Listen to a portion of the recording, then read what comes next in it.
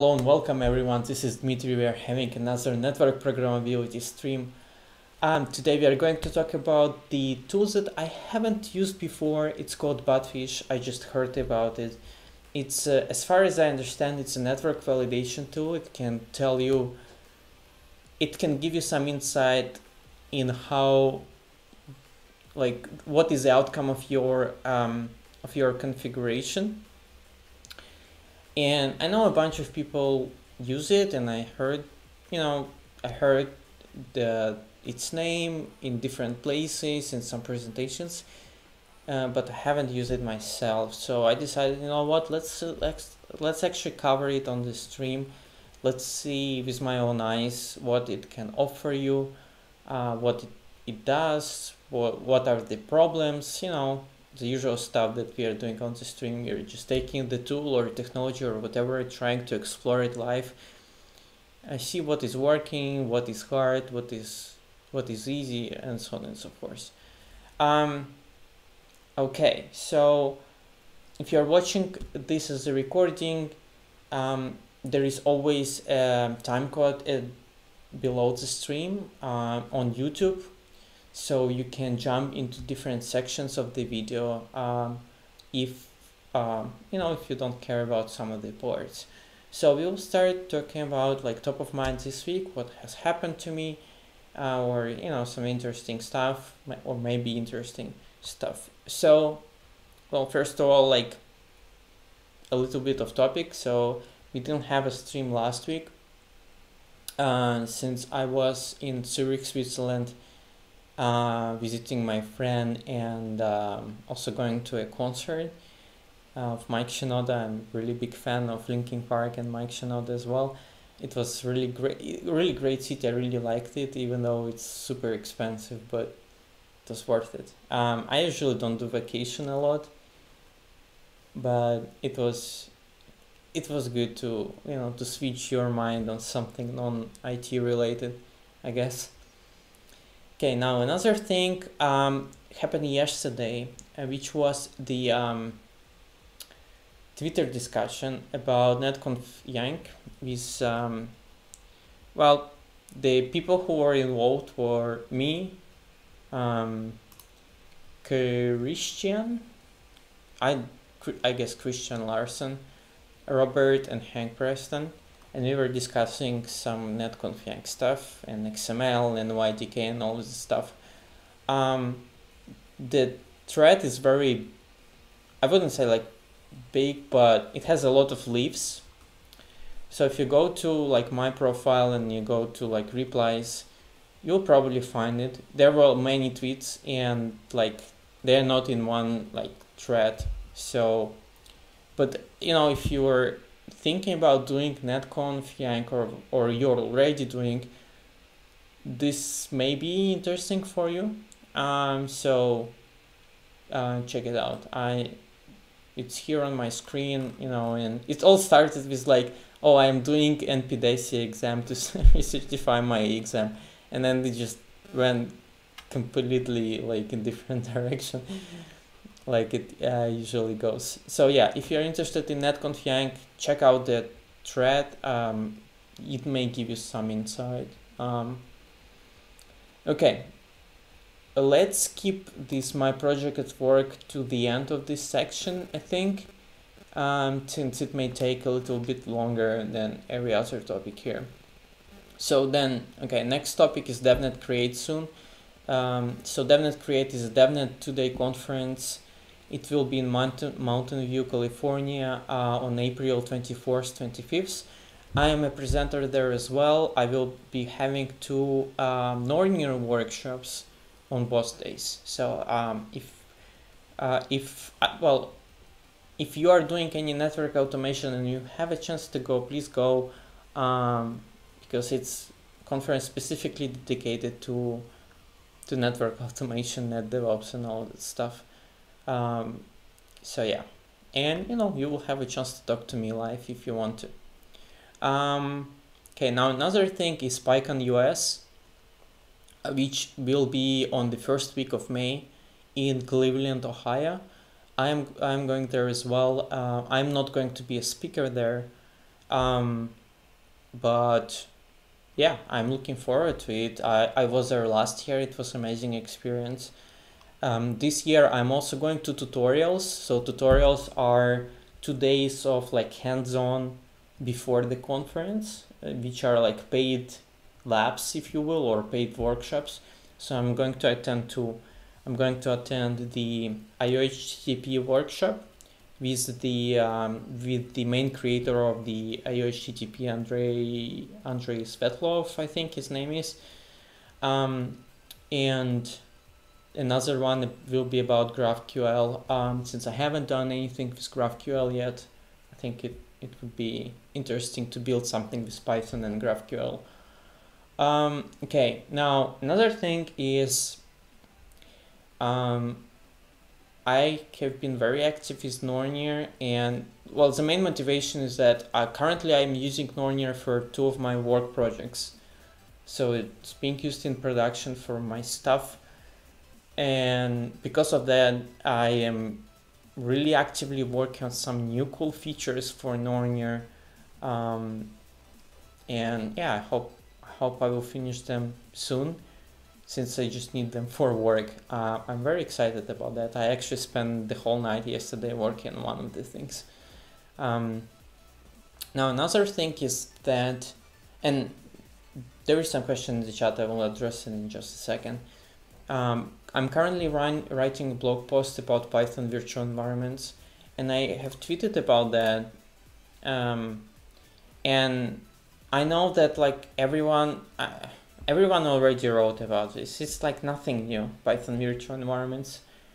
Um, and I realize that it's not going to be like super original, but the main motivation why I want to do that is because I still see people uh, starting learning Python, especially network engineers, and they are really scared of you know when they are told to use virtual environments, and they think it's like complicated and stuff like that.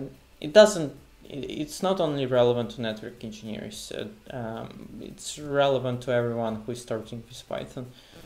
And i decided okay like you know if i can reach a couple of more people in the community and try to explain them why you shouldn't do that why you shouldn't reject virtual environments i should do that even even if i repeat what you know 100 other folks have already told in or written in their blog articles.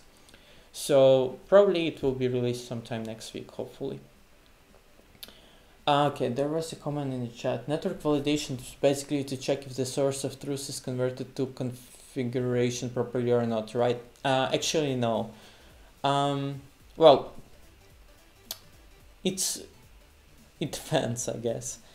It depends what you mean by network validation. Network validation, from my perspective, is um, making sure that your network works according to your requirements and to your design and according to your constraints. So, for example, if your um, network is supposed to uh, provide an infrastructure for your application to be, you know, to be working, you know, so that the client on this IP address could reach the server on this IP on that port. This is what is for me network validation. Another thing what is network validation for me is making sure that your devices like have correct state when they run.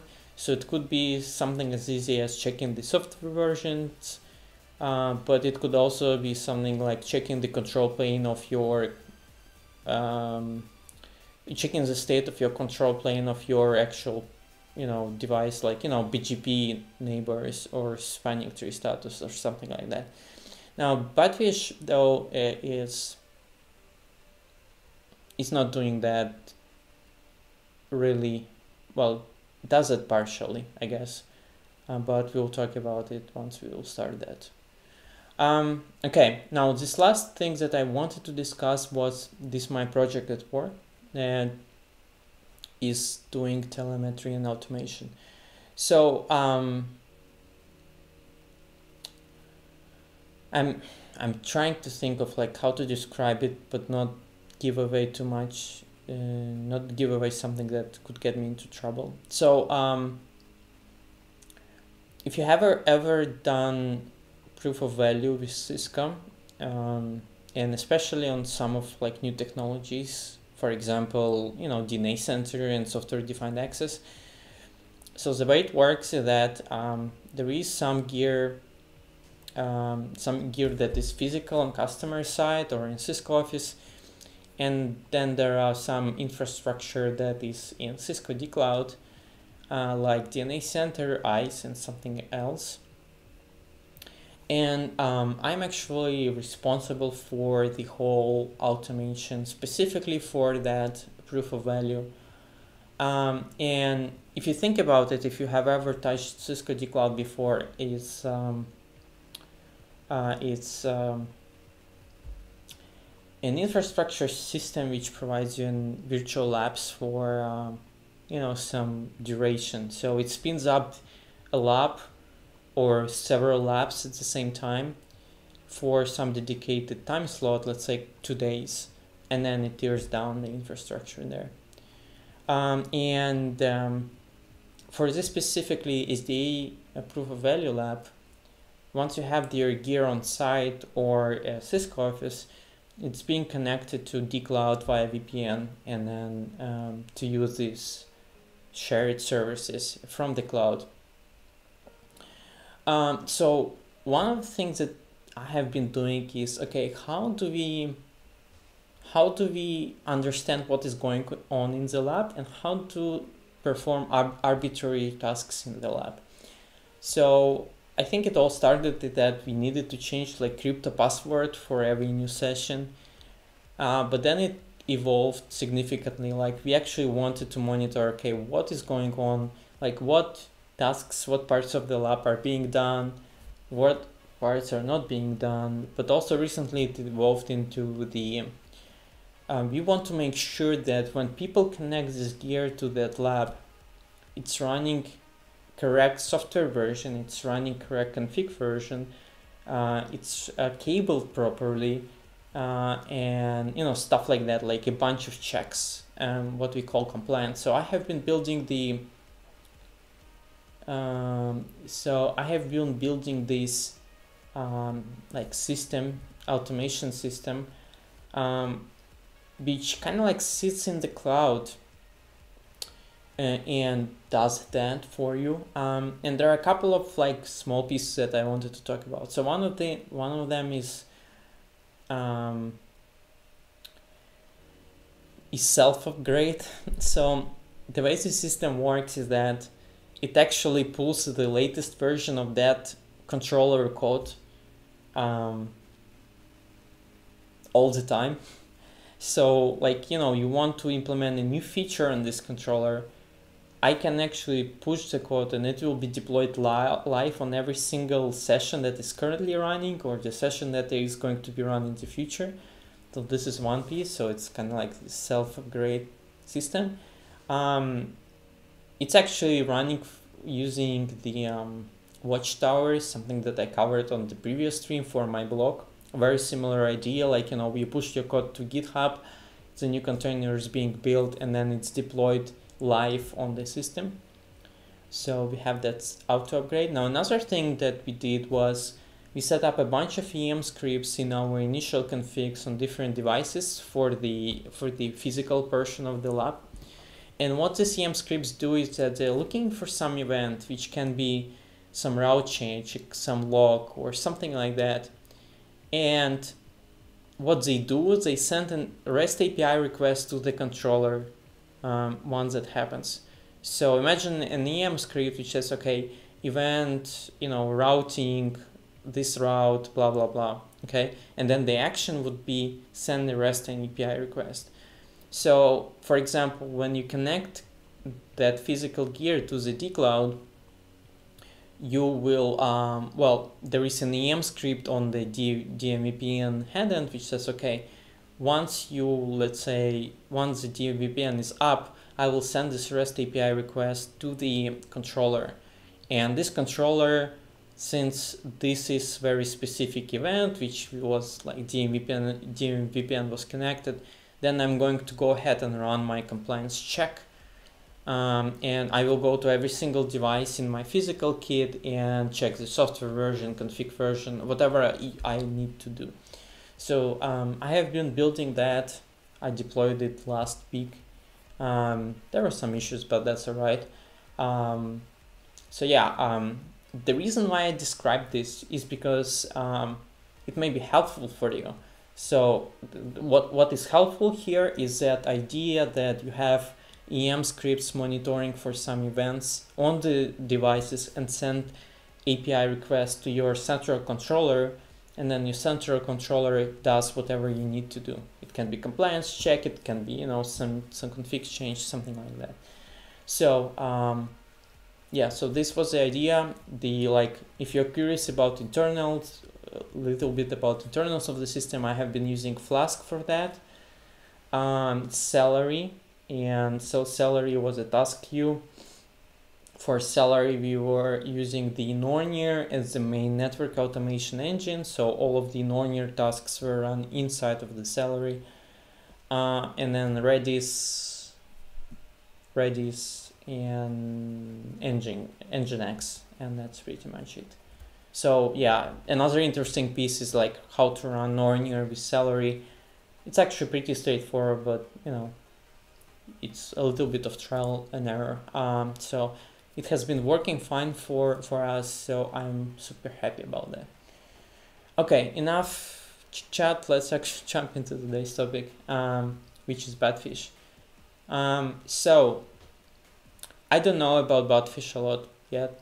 Um, I know that it's network validation tool. Um, and as far as I understand, the idea is the following. You take the configs from your devices, you feed it into Batfish. Batfish builds the, um, kind of like parses that, uh, but it's like a little bit more than just parsing. It's kind of like understanding how your control plane will work so you take your config from your network, okay, from like 10 devices. You feed it into Batfish and then it will um, try building simulated control plane, I think, in the model. And then you can ask questions and understand like how this control plane behaves. Like, okay, you can ask, okay, is the connectivity from this point to this point works or the you know is this route propagated to that device or something like this so and all of that is simulated okay so it's not again if i understood correctly it's not actually going to your live network devices and asking you know like things like on you know show ip ospf neighbors or show bgp summary or show ip bgp whatever. It taking the config and builds a virtual, well, simulated control plane, and then it can help you with the decision, okay, is the traffic from point A to point B will work, or is the route A uh, from this device will be propagated to this device um, there down the line. Um, so, and then you can build like, well, testing around it and from my perspective, I'm, I think it's an interesting idea. I think it's not as reliable as actually checking your data plane and control plane on an actual device for obvious reasons, because you have to actually like simulate uh, router decisions. Um, but from different point, it's kind of like autonomous, right? It's you don't really have to go to network device to do that so imagine like you can build your config from your config template and then run batfish on these generated configs and then get some understanding of like how your network will behave with these changes. Um, so yeah, I think it's an interesting idea. Um, okay. Cool. So now there are a couple of things that, you know, I was doing some very small preparation for this stream, but, you know, to understand what are resources available, like what do I want to actually cover, you know, stuff like that. Um, and let me actually check one thing before I go forward. I want to check if my device has booted. Uh, which it did. Yeah, okay, I think it, it's, it's okay. Because we will have to download the configs from these devices. Uh, so yeah, so what I wanted to tell you is that, you know, I was trying to understand what are resources that I'm going to use on the stream. And this was the first point where I felt discouraged, to be honest. So if you look, if you try looking for something about Batfish, you will not find like a lot. So you will find this main website, then there is these tutorials, and those are mostly videos by Batfish team and then there are some community resources which are mostly talks from the presentations. Um, so like yeah i would say it's not a lot. And I also like if you put batfish network validation or something in google it's not yeah i mean it's just not a lot i guess so this was first thing. Now, uh, from what I have understood is Batfish itself is a Java application. It's kind of like, you know, so you spin up a server there and then, but there is also a Python client. So you can spin up the Batfish server, which will do all of that things for you, but you can call it from like your Python, this their library that they provide. It's called PyBatfish. Um, now, and this is another point where I had I was discouraged a little bit. Um, and this is installation, um, which is this. So what they saying is that they, they haven't published this on PyPI. Um, they haven't published this on PyPI and I don't know, like I don't want to sound too negative, but at the same time I want to. I feel like, you know, if you want the tool to be like to have a chance to be widely used, you need to under, like find a way to distribute it as easy as possible. You know, telling people, you know, not publishing it on PyPI, it's really, really suspicious to me even if it's not 100% ready okay? So i don't know. Um, this is something that i'm like meh. Um, there's questions which no, uh, no alternative to batfish. I think um, when, when i was looking for resources there were some but i think most of them are uh, are not free because batfish is open source. Um, and I doubt I would cover non-open source tool uh, or you know like I wouldn't pay my own money something to cover a tool on my stream I guess. Yeah I, I think actually I, I could do some sponsor stuff but yeah I would definitely not pay my own money for any tool to cover on the stream. Uh, but yeah Batfish is open source so that's that's why we are covering it today so yeah, the fact that this Python client is not on PyPI is really, really weird. Um, but okay. Uh, maybe, you know, maybe they have their own reasons to do that. So uh, now there are a couple of things that I was advised because I went to Nornir, uh, sorry, Nornir, the Batfish Slack channel and asking for advice because I couldn't find exactly what I wanted to to have. And I was pointed to two things. Uh, so the main one is this. So Batfish, PyBatfish, Jupyter notebooks. And I think this is what we are going to cover today. And there are a bunch of notebooks. So we will try doing that today. Now another thing, um, I was pointed to this um, article in Russian, okay, on Habra Habr, which is a famous um, Russian IT resource. And I kind of like glanced through the article and I found it really interesting as well. Uh, so, you know, you can try like using that as well, maybe with Google Translate if you don't speak Russian. We'll see, like if I feel like I don't like these notebooks, official notebooks, we may jump into this, and you know, and since, you know, I'm speaking English on the stream, it should not be a problem because I will try to follow along with the author here. Okay, so let's actually get started. Uh, so, uh, yeah, let's just get the first notebook here.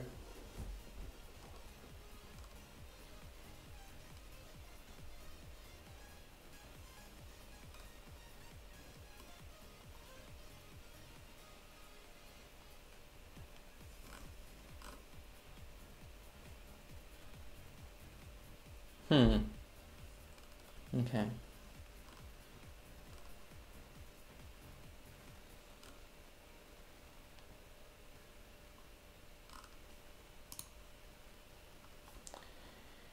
Uh, okay, so I looked into uh, like this getting started, but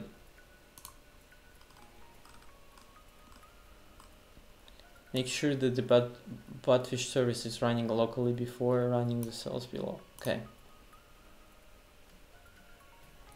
So yeah, I will have to start Batfish first.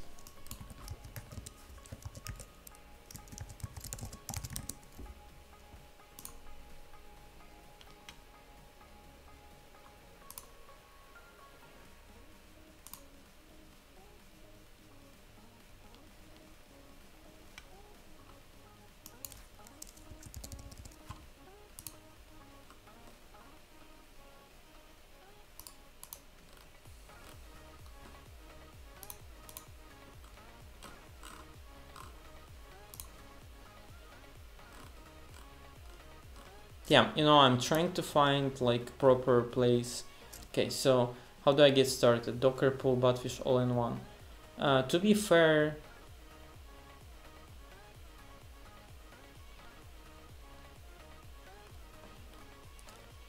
I have my reservations about this, but I guess we would need to do it anyway. Yeah, okay, let's just get this started.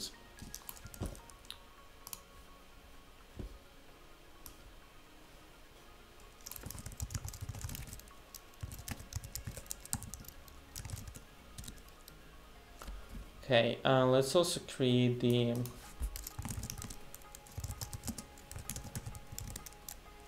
Batfish folder.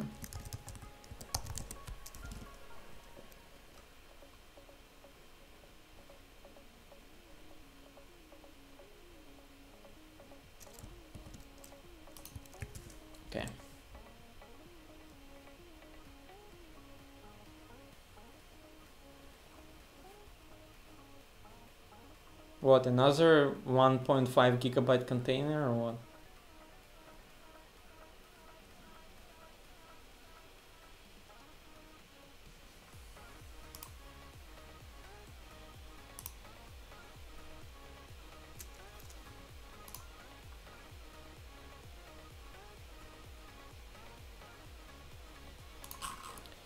Yeah, I think I will also need to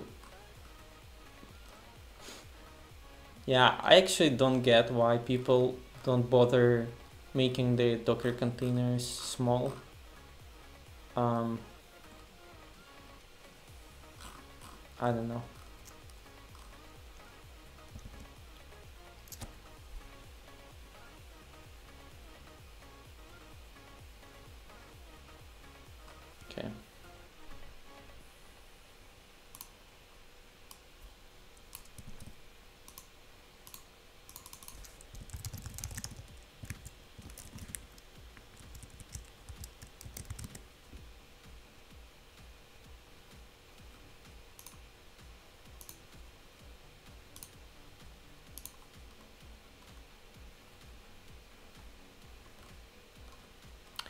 Okay, um, for now, like,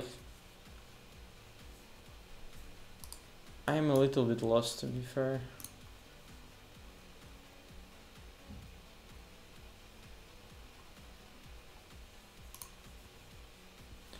Let me install this first locally if I want to use this. Um,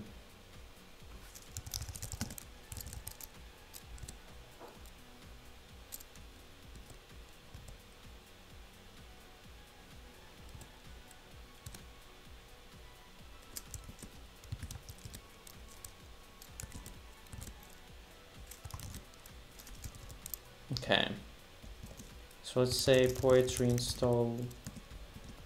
Uh, I will regret about this. Um,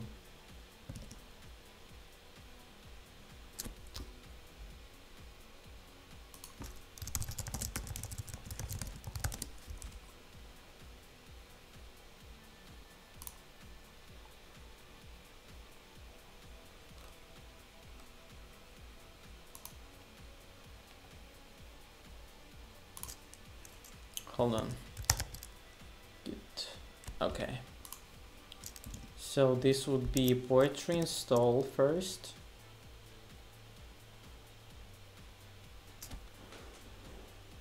So then poetry run pip install u pip set, setup tools. And then poetry add add up PyBatfish. Uh, get. oops. Oopsie. Let's see where is this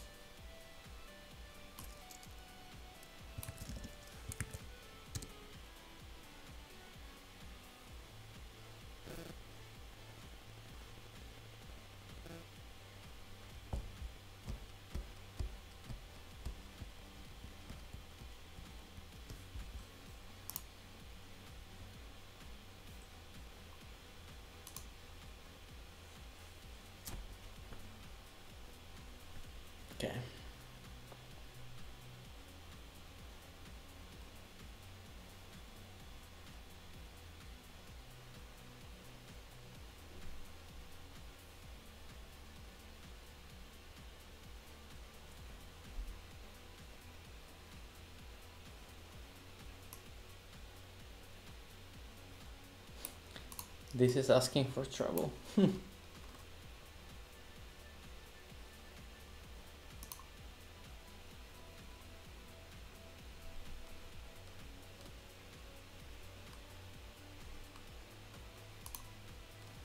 Okay, let's see what operating systems are supported. So, Arista, Cisco, Nexus, iOS, x6, ASA, Dell, F5, IP tables, Juniper, Palo Alto, Quagga.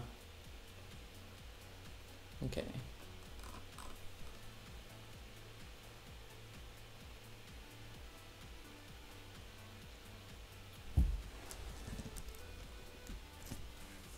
Okay, we uh, are good to go here, almost. I think we will also add Jupyter here as well for, for tests.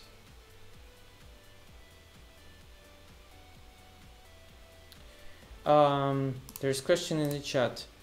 Hey, uh, I think you should be able to run notebooks directly from the Docker container. No, I think all-in-one has Py, PyBatfish Jupyter pre-installed there. Yeah, I I think so too. It's just like I want to have it locally. That's that's pretty much it. You know, like when you do development of something, you want all of your stuff like like local first and then package the way you want, not the way they want. Um, that's why I'm also spinning up it locally. Um, but I do agree with you that I should be able to use their um, their examples.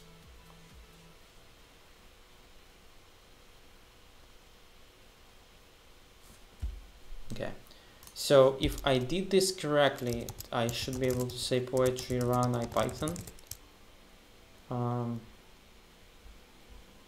which I can, and I should be able also to say uh, poetry run notebook or Jupyter notebook as well. Um, so yeah, I can run Jupyter and uh, let's do one additional thing. Let's just poetry run a Python and we will um, import PyBatfish. Okay, the import works uh, and let's see what is available there. Well, probably there's those are some other imports. Okay, our local environment, I think more or less ready. So let's actually jump into their examples. So let's do what? Getting started, I guess. Getting started. Um, okay, this notebook uses PyBatfish, Python SDK to analyze a sample network. It shows how to submit your config in other um, data analysis or uh,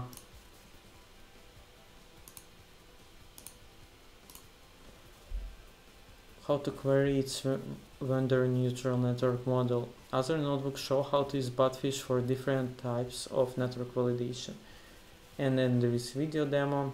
Okay, initializing a network and snapshot. Network logical groups of routers and links. Okay, fine. It can be your entire network or subset. A snapshot is a collection of information, config, files, routing data, up-down status of nodes and links that represent a network state. Snapshot can contain the actual state of the network or candidate states. Okay, so it seems like network is like a graph, okay? It's like routers and links. When we're talking about snapshot, snapshot is a network plus like configs and stuff like that. Um, make sure that the Batfish service is running locally before running cell below. Okay, before we will move forward, let me check what this run startup py does. Because, you know, I don't feel confident when something is going on uh, and I don't just don't understand what it is. Um, okay, this just shows the um,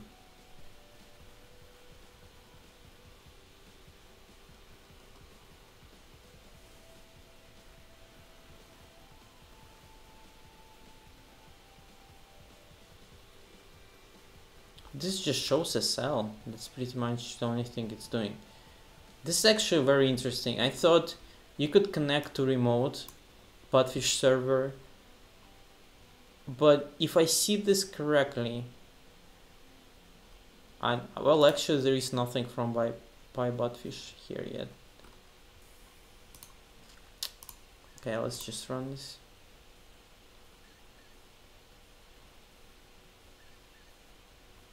Okay, this just imports some stuff and then it shows the cell. Doesn't even show the cell. Okay, but there is a show function. Okay.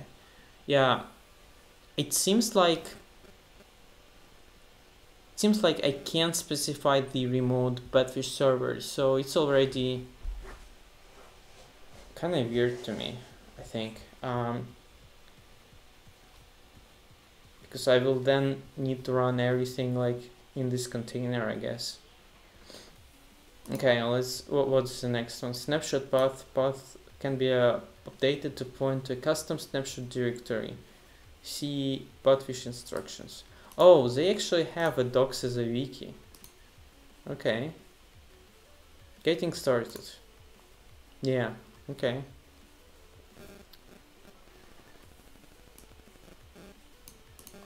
Well, actually, not, not true. They have RESTful API.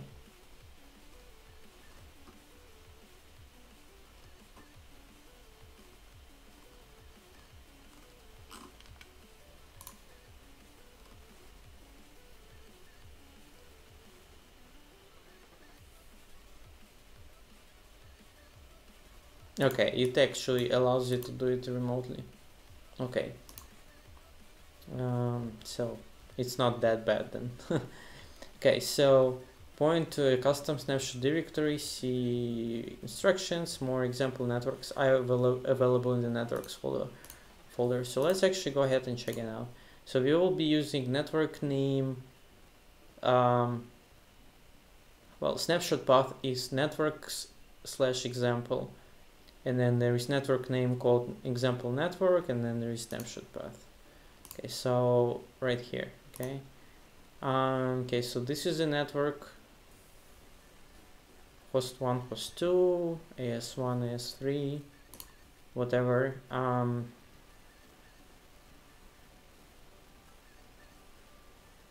wait what? Uh, I don't see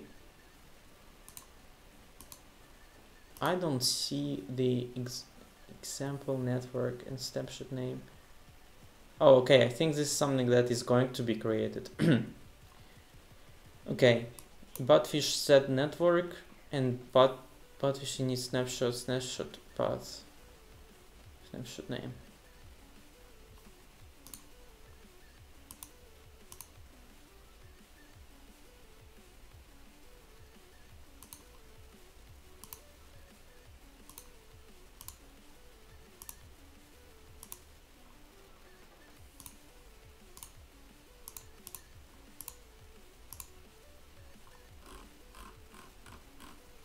Okay.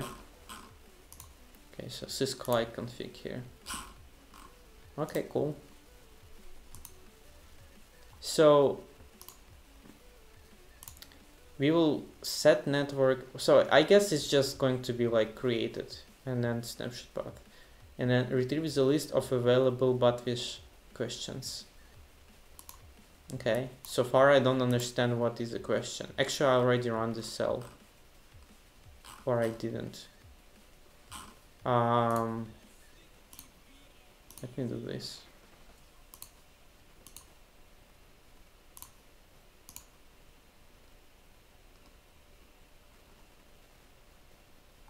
Retrieve a list of available Batfish questions. Okay.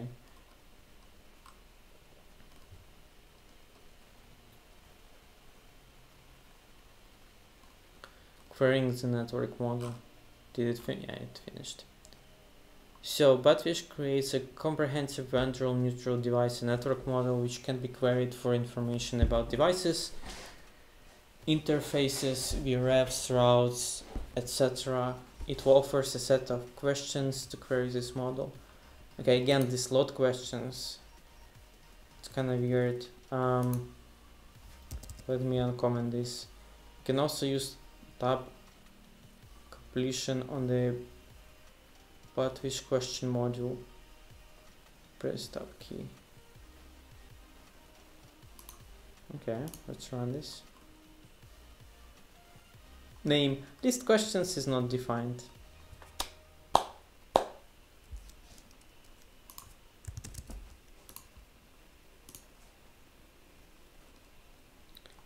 Okay, not properties. Creating a new question. Okay, so far I have zero understanding of what, what it is. Getting status of parsed file. Batfish may ignore certain lines in the config to retrieve the parsing status. Use file parse status question. Answer or runs the question and returns the answer in JSON format frame wraps wraps in in pandas, uh, pandas data frame. Okay, let's take a look at this.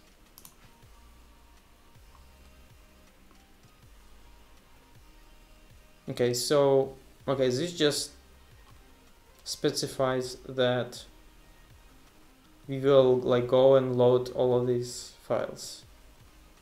I this thing like answer and question. I don't get it but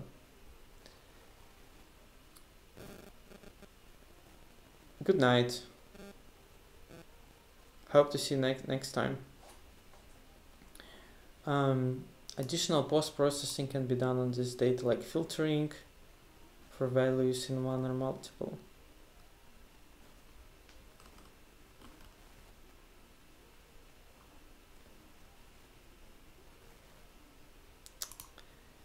Okay. Um,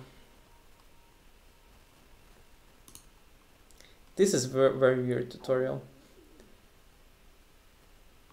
and now it, it didn't even return what it's supposed to return.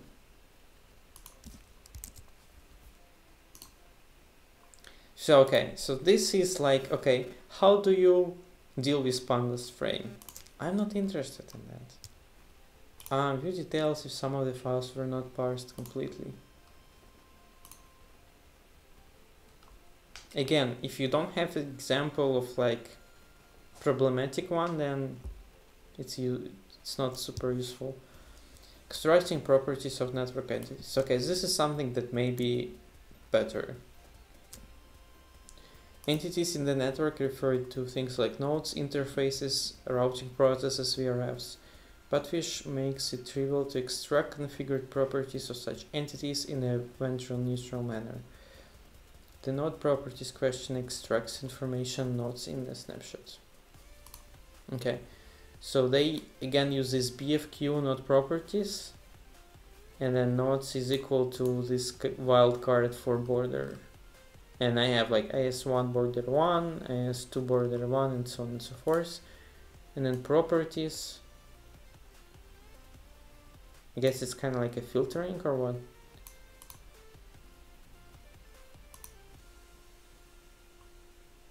Yeah okay. So this will extract all of the properties and then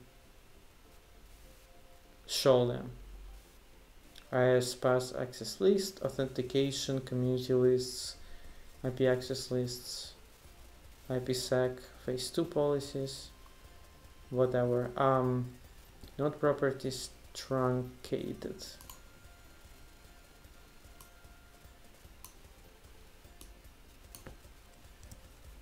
Let me run it without counts.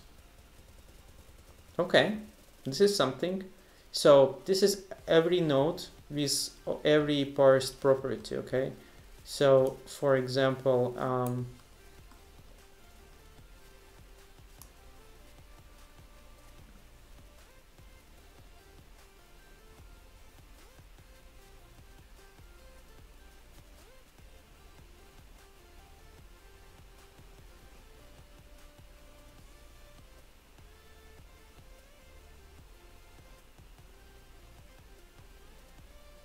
Okay, it's something. So this is basically parsing the config and converting this to a model of these things. Um, okay, so this one is only a couple things. So domain name, interfaces, and NTP servers. For, fair enough. And then this is client-side way to restrict it. Okay, so this is the same thing but using the um, pandas itself. You can add additional filters to restrict entries based on values of the columns. Um, okay, again, this is um, this is pandas stuff, like how do you filter data in pandas. Uh, okay. Information about interfaces present and properties of them. Use interface properties question. BFQ interface properties and then again you filter based on some columns um, okay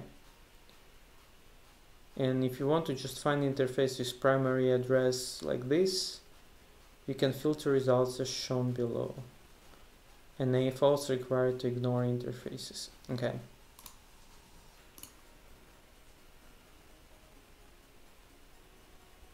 Again all like this kind of stuff is like just pandas really more or less. Um, this syntax like answer frame and the whole concept of question is really foreign to me so far um, but at least this is interesting to see the parse data from the config because it's so painful to do it on your own Similar question extract properties of other entities. BGP process config extracts properties of BGP processes. Uh, what?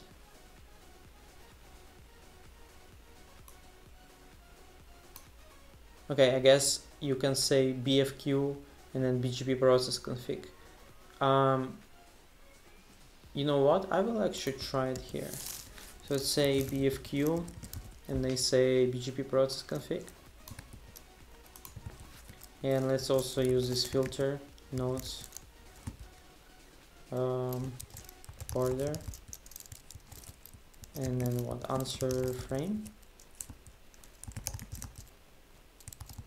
and then uh, BGP data let's say data. Let's run this. Well well well. Well well well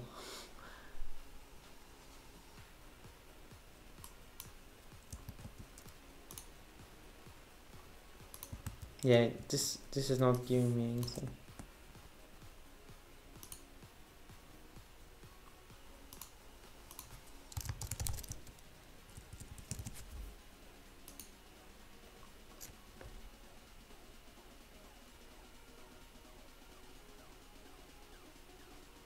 Hmm, this is very interesting though.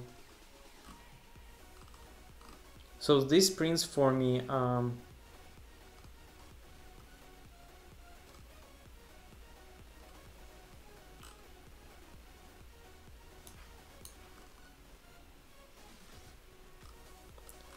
This prints for me. Uh, this prints for me the data about BGP on different devices.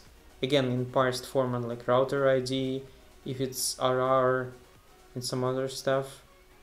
Neighbors list, arrival order. Interesting.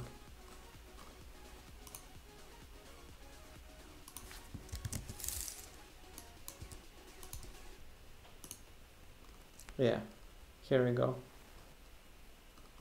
Okay this is something. Um,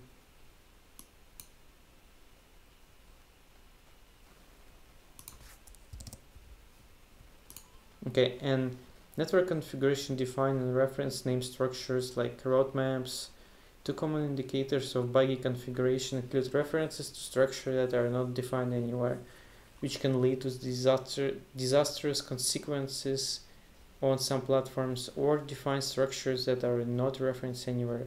Batfish make it easy to flag such instances because it understands the underlying semantics of configuration. Okay, this is very interesting too, by the way. Um, so, okay, let's rerun this. And it says, config AS2 core core 2 which is this. And what's the problem there? Uh, struct type are filter bogons BGP in out route map. Lines 109 line 109 which is this. So what it says really is that you are referencing your structure which is not present anywhere. Wait. oops Oopsie.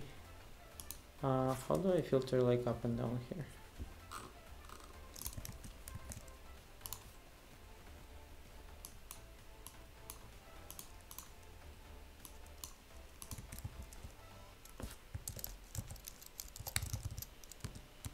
See, like this filter bogons is defined here, but it, there isn't such a route map. And this is already something very cool i would say. Uh, like you know imagine your networks like you know I, when i was working tech i was troubleshooting very different environments. Like some is like very small config some is like thousands and thousands of like vpn peers or something. And even this is something cool because like I saw so much stale config on devices, okay? Like, you know, this thing that doesn't exist anymore, something with incorrect name or stuff like that. This is already something cool. Like I can already see like you can get easy value out of it, right? So you can literally feed your configs here, run this and say, okay, if in my config there is something well there is some some response this is not empty right? Then I'm going to like fail send notification don't push this config whatever you want to do uh, and go ahead and fix it. So this is like very easy win from my perspective. Uh, let's you know what? Let's actually do better um, no I, I think we are fine. I wanted to give and like try another change something but they already gave an example so it's good. Um, expecting physical and logical topologies. Nodes in the network from multiple types of topologies that are defined by edges at layer 1 or layer 3 or by different types of routing protocols such as BGP and OSPF. The edges question in Batfish returns those different types of edges. Its edge type parameter specifies the type of edges to retrieve. The nodes on remote nodes can be used to limit the return edges to a subset of nodes. Okay, I don't understand this, but let's go ahead and run this anyway.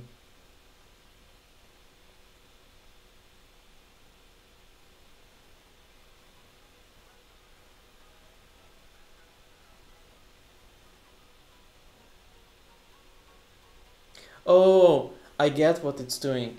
Okay, so um, in this case, it looks on like all of the IP addresses everywhere, right? And says, oh, okay, this IP address is on the same network as this IP address on this device. So they have like layer 3, they are on the same layer 3 segment. Yeah, pretty cool as well, because I actually had something like I don't remember the use case, but I had I had a use case for like identifying links links based on the IP addressing. Exploring routing and forwarding. Batfish computes routing and forwarding tables uh, from of the network from snapshot data itself. These tables can be examined to understand the routing and forwarding behavior of the network. One way to examine, examine this behavior is a virtual trace route. Unlike live network trace route, Batfish so shows all possible flow paths in the network and identifies routing entries that cause each hop to be taken. And then you do it. Wow, that is pretty awesome, um, to be fair. So, where is this diagram? This one, yeah. So, we, do trace route from the host one from this guy. Um, and then we say header constraints destination IP is one. Okay this is not giving me a lot but let's just run this.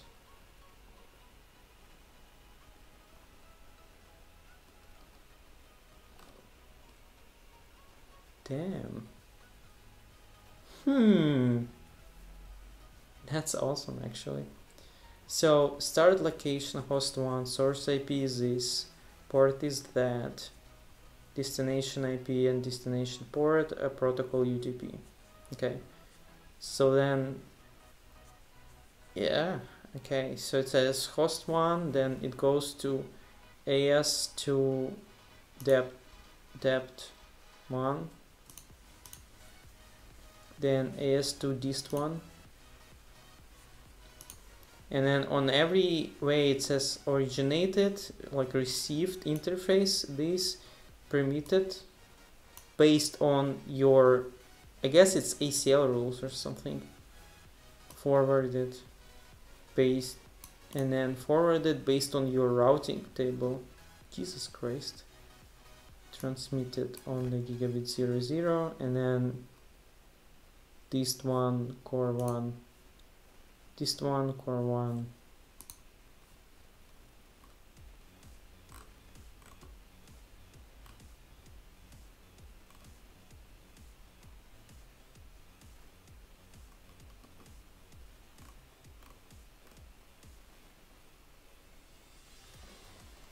Okay, so it shows all possible paths. wow, th- ah, damn, this is pretty amazing. So I don't know if I don't know if you got it, guys. Um, but so what this is really doing, it takes configuration from all of your devices. We are not connecting to any devices, right?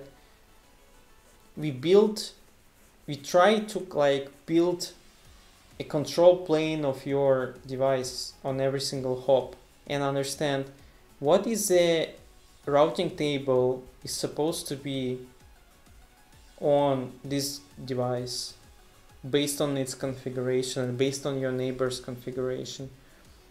And then like what are the access lists and stuff like that. And then we are doing virtual trace route trying to kind of like take this virtual thing through your simulated control plane and understand if it's working or not. Um yeah damn i like i'm thinking about this from my like developer view. That's so much code to, to do all of this. But it does sound amazing. Uh, i mean obviously it's not the same like if this tool says to you okay this packet should be forwarded it doesn't mean that it's going to be forwarded in your real network for obvious reasons right? You know you can't model every single feature of your device is just not it's not realistic. Uh, and you know you also have features which depend on the current load you know like QoS for example right? You can't really say if the packet is going to be dropped based on your control plane um, in, if it's dropped due to QoS buffers or something. Um, so you know this like doesn't mean that this is the way it's supposed to be but what it allows you to do it allows you to say okay my configuration with some like degree of confidence is what I am expecting from my network right? So yeah wow that's pretty awesome. I actually had an idea like this some time ago. Like actually one of ideas I have for like some upcoming stream is the following is to have the um,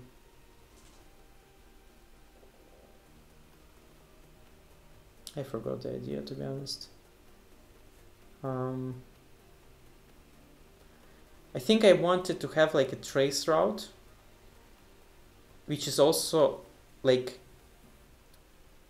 virtual but where I don't build a control plane myself I actually go to every device and I check check it. Like i i ask okay show me show me like access list or show me this or that and you know stuff like that. Or maybe on some devices you have uh, you have a way to actually ask this question. For example on ASA there is a packet tracer which is also a virtual packet uh, which we can go through every single feature on the device and says if it's going to be forwarded or not uh, so something like this, but script does it for every single hop. Uh, so without like building control plane based on your config, but actually asking devices about their con control plane. But even this is like, I I can like this is so hard. um, this is so hard to do. So kudos to these guys to actually doing this. I see a lot of use cases already for this. Um, because this is this is low cost way for you to understand if your network behaves the way it's supposed to. Like it could be several step process like because for this you don't need network at all, right? So you can run it as part of your CI CD easily super easy, right? Because you don't need any infrastructure, you don't need virtual or, you know, you don't need any infrastructure for this. So you just build your conf uh, you load your configs and then you ask questions like, okay, here is what I want you to trace route or, you know, I guess like TCP ping is somewhere there as well or, you know, something like this. And tell me does my configuration allow me to do this or or I will get you know like this packet drops somewhere. Yeah that that's yeah again i'm judging this mostly from developer standpoint and um, i just understand how much work it is. Okay enough doing you know praising this. Uh, let's just move forward. Another way to understand routing behavior in detail is to examine routing tables directly. Okay just go ahead and do that. Um,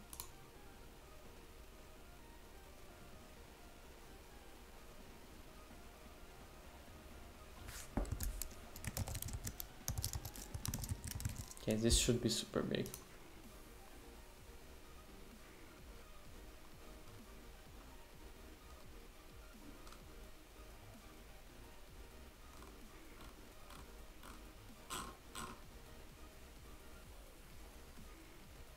Damn. Look at this. So you have this BFQ routes answer frame, right?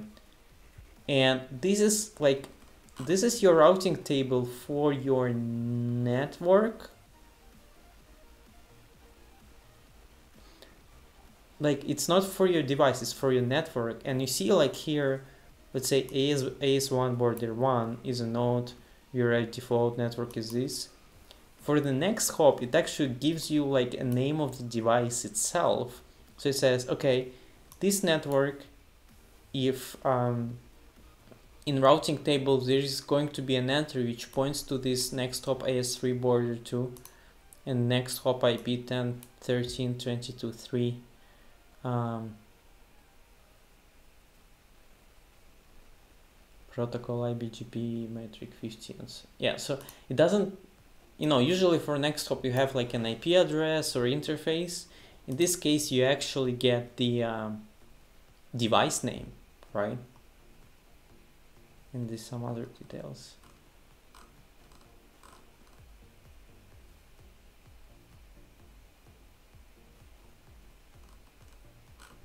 I'm impressed.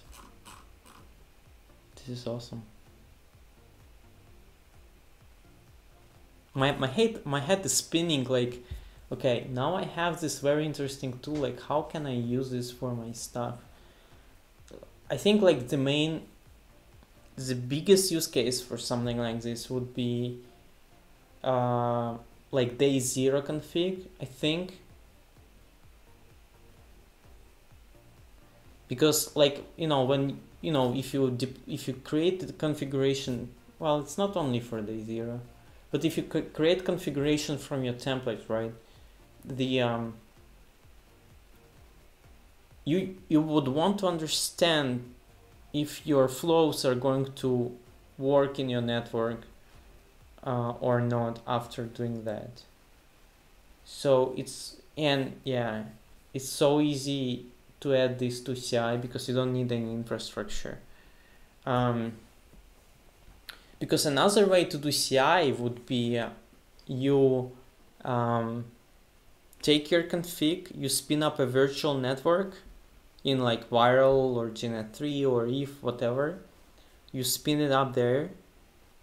You configure devices using your config and then you actually go ahead and do like real tests in this in this network and then check if everything is okay or not.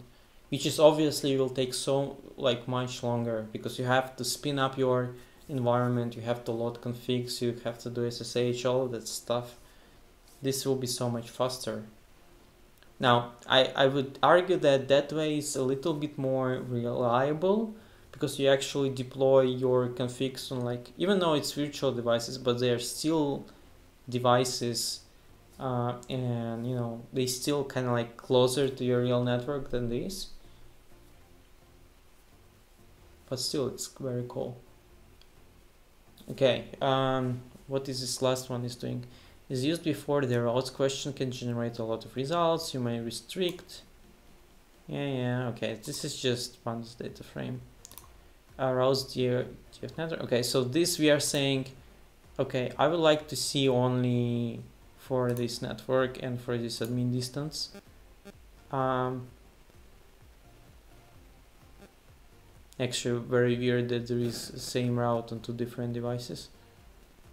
Um,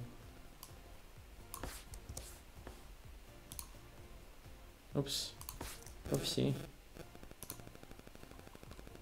Hmm, interesting. This route is actually not propagated through your network. Okay, cool. So this was getting started with Batfish. Let's, uh, what's the time? Uh, yeah, we, we are live only for one hour, 20 minutes. So we have, we have a lot of time left. Um, yeah, we'll just jump into the next one.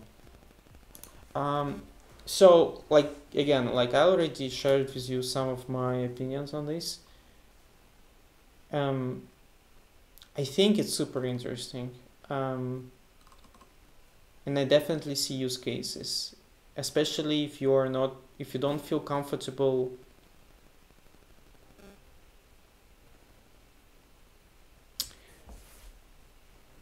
yeah, yeah, I think it's yeah, if you don't feel comfortable going full blown on like net DevOps, this could be an interesting step um, where you know like you get some degree of confidence for your your new configs that they work as you expect them to work. Very cool. So yeah, this would be like replacement to this like spinning up your virtual topology and checking your things there. This would be a replacement for that workflow. Like you don't spin up the virtual topology, you load your generated configs to Batfish and then do it there. Now there is one interesting thing that I already see which problematic for the stuff like I'm doing because I use only netconf right now to configure devices mostly I can't so I like I don't generate the zero anymore like in usual CLI way. So that means Batfish will not work for me and I either need to like do day zero on like the generate CLI config file on my own or you know I don't know. But I also know that a lot of people just don't use netconfig so this would be a viable option for them. Um,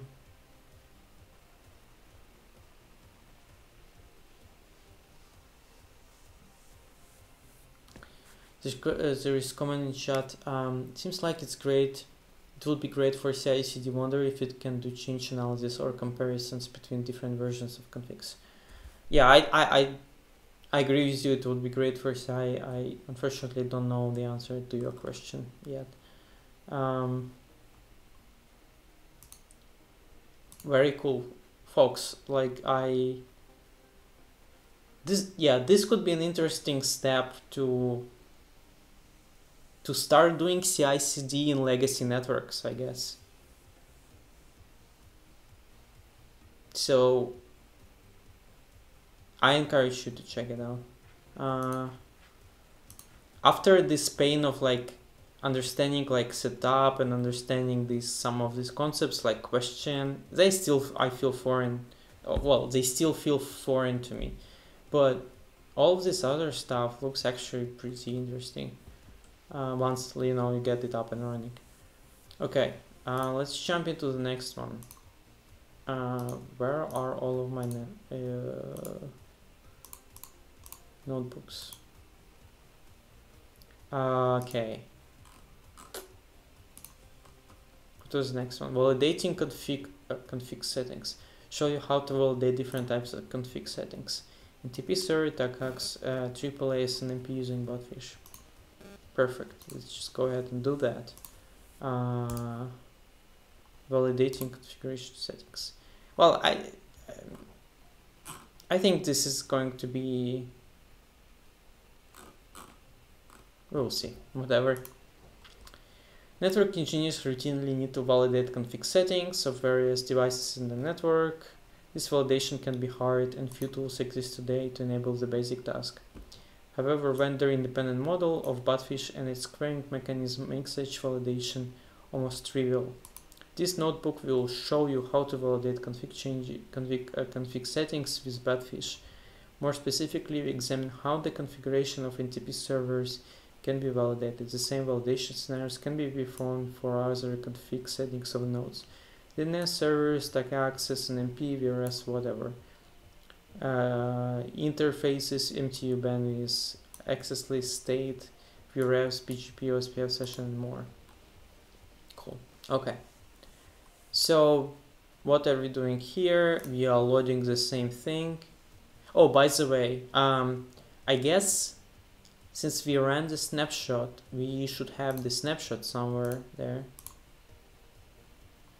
Which I don't see here. Hmm, okay. I thought it, it would be saved like as a file, but I, it seems like it's just in memory. Okay, uh, let's clear output here. Let's run this. So six borders. Oh, by the way, host for firewall. So okay, so here is IP tables. Here is uh, OSPF, and here is uh, IBGP and eBGP and router UCLs. Extracting configures NTP servers. This can be done using node properties. Uh, okay, we already saw this, right? We had these BFQ node properties and we were having these different filters. Uh, okay, let's rerun this. So this now shows us NTP service everywhere. Um, now we do validating.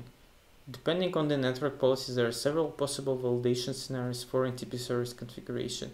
Every node has at least one, at least one from your set, has a reference set, has NTP service that matches those in um, per node database. We demonstrate each scenario be below. Okay, this one is the, um, again, this is just Panda stuff, okay? This says uh, if in that frame for the column NTP server, we will say if the number of the elements in this list is zero, right? And we should have this AS1 border 1. Okay, easy. Every node has at least one NTP server configured from set. Okay, so the, you have like a reference set, and then you say, you probably convert this to set and say, this say here intersection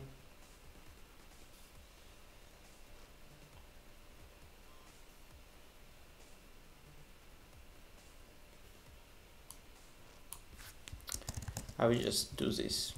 Hmm. Okay, so so we we will do intersection between between this and set of x and see if okay again this is this is like more python panda stuff. Because as1 border blah blah blah. Okay whatever. Every node has I would just say actually this, not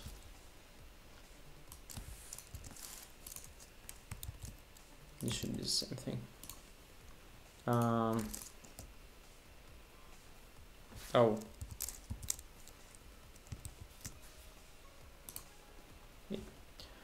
Uh, okay, every node has a reference set. Okay, so here we are saying if um, you have the set which is exactly like that set. Okay, so ref okay, again Python stuff. Uh, all border nodes violate this condition. A slightly advanced version which shows us which configured NTP servers are um, missing or extra. Again, this is just Python and Panda stuff. We say extra and missing, we actually calculate the difference here and then we are creating a new data frame whatever. It's just uh, data manipulation. We say, okay, we have extra NTP servers and missing NTP servers. And then every node has NTP servers that match those in a per node database.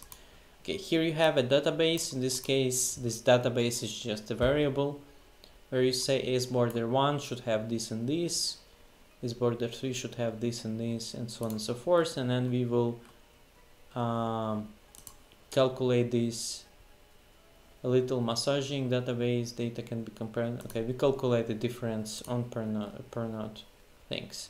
And then here we can see that, okay, AS border 1 has one extra NTP server, and this one has this.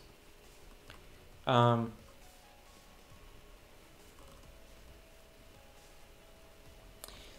yeah, this is very cool. Again, the the coolness of this is all this done is without your network devices. Okay, so it's completely simulated control plane.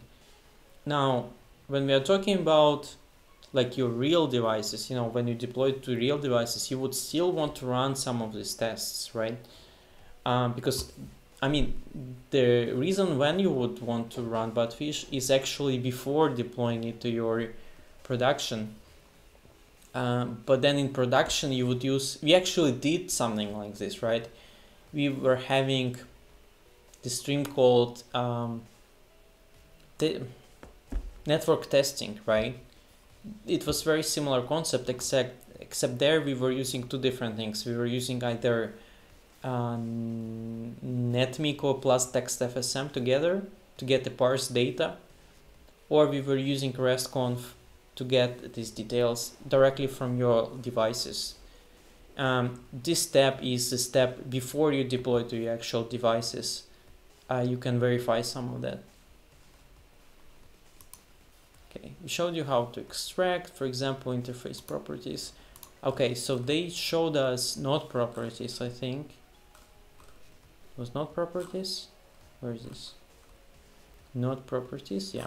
Now we say interface properties for the specific nodes, interfaces, blah, blah. Okay, let's run this. Okay, so this one also gives you some interface details. Uh, and actually, uh, let's do the following. Uh, let's do. I want to see. I want to see everything.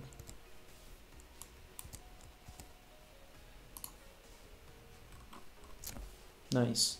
So every single interface on every single device, VLAN, if it's uh, shut or not shut, the prefixes, I guess together with secondary IP addresses, bandwidth configured, blacklisted channel group, channel group, declared names,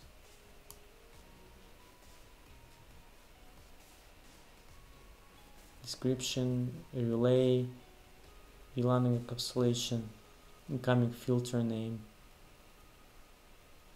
loopback physical uh, access list, OSPF details, OSPF, OSPF, OSPF, primary address, network, proxy ARP, RIP enabled, RIP, what?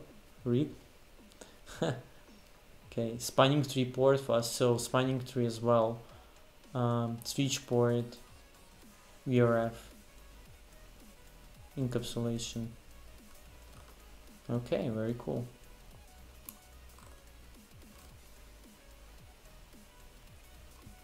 okay this is end of this uh, notebook let's let's take another one well dating set okay so yeah this is like checking if if your config conforms your constraints and requirements. Uh,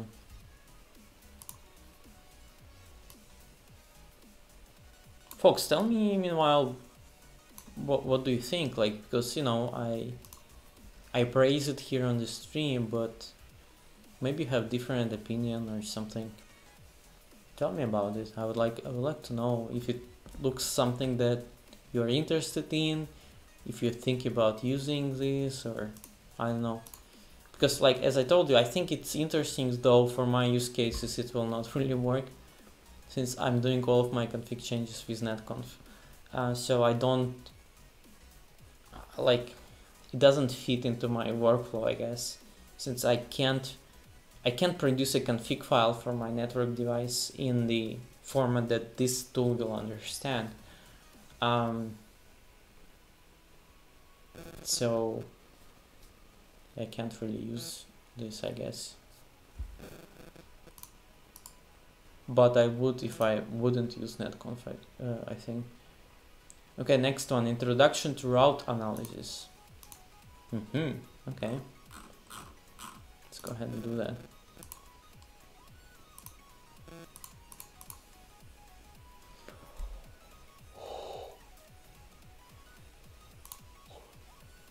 excuse me actually slept today 8 hours and for some reason my body thinks it's not enough.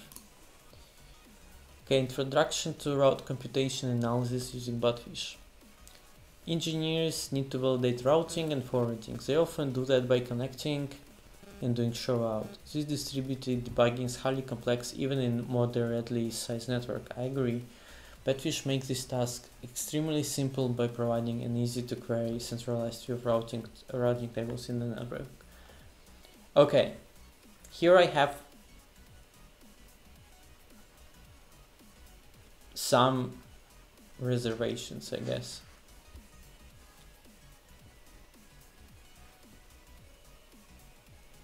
Or maybe not, I don't know.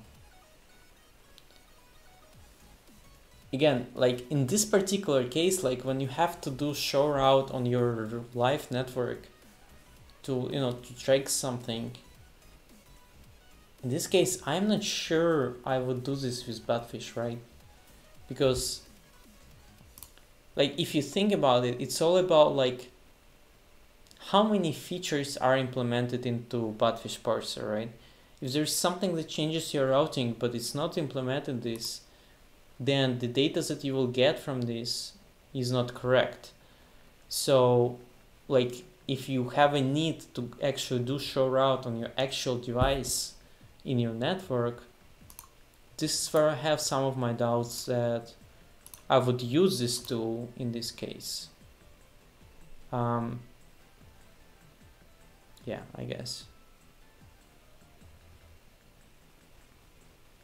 I, I think like if I had to do this, I would like do a script like using REST, RESTconf or something that actually goes to every single device pulls up the routing table this way and this way I know okay this is my actual routing table from my actual network and then I can anal analyze it. Because this is not I don't think this is something I would trust the configuration emulation tool if you will um, okay the same thing as we were doing before set network snapshot load questions okay the same diagram Batfish makes all routing tables in network easily accessible. Uh, let's. I think I actually run it already, right?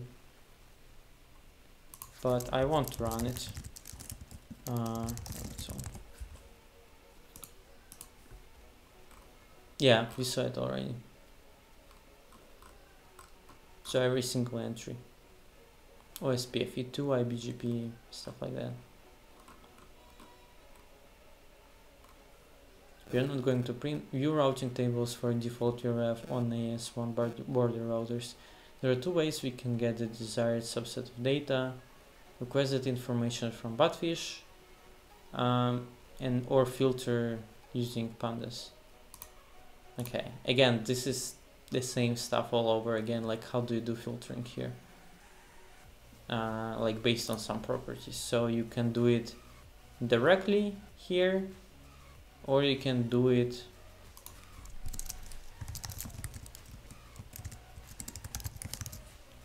um, so okay you do this on Batfish side or you do it on the uh, side routes all node str contains AS border one and yeah so this is just pandas filters the same stuff the same result.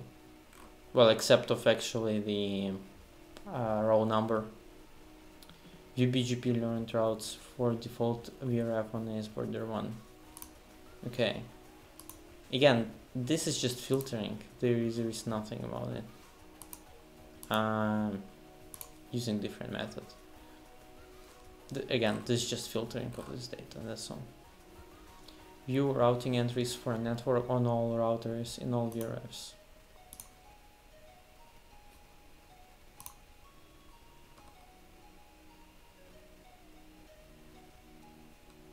Again, the same filtering.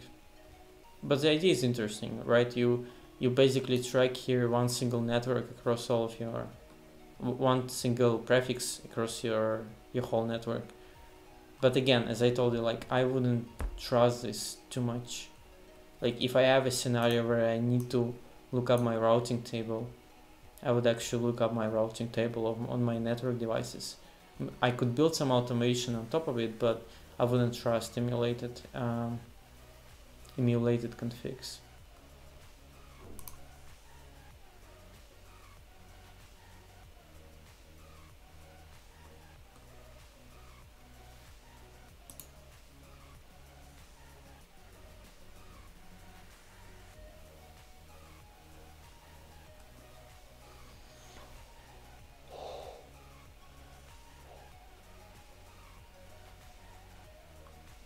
Now we will release those that do not have prefix. Again, pandas. Okay, host 1 and host 2 don't have those.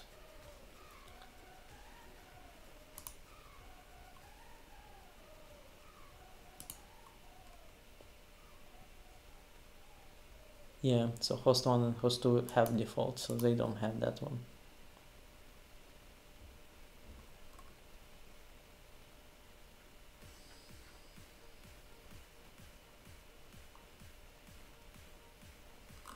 This this was easy. I mean, kudos for them for doing that, but I just don't believe this is a valid use case for for using this tool.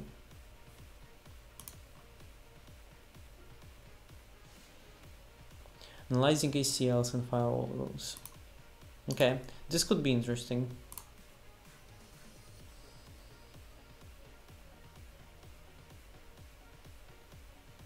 Okay, um, ensure ACLs and firewall rules in the network um, do what they're supposed to do basically.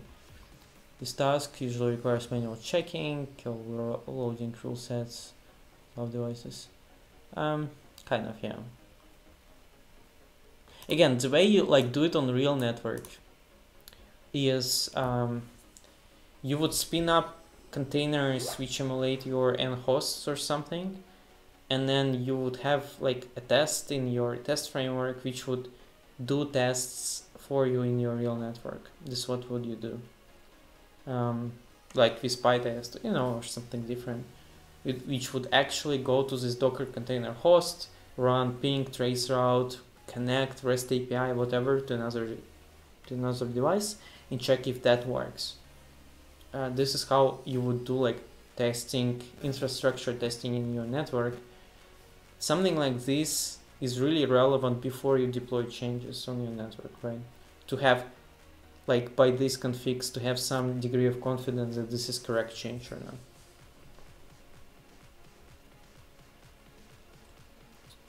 Okay, Batfish make it easy to analyze blah blah blah.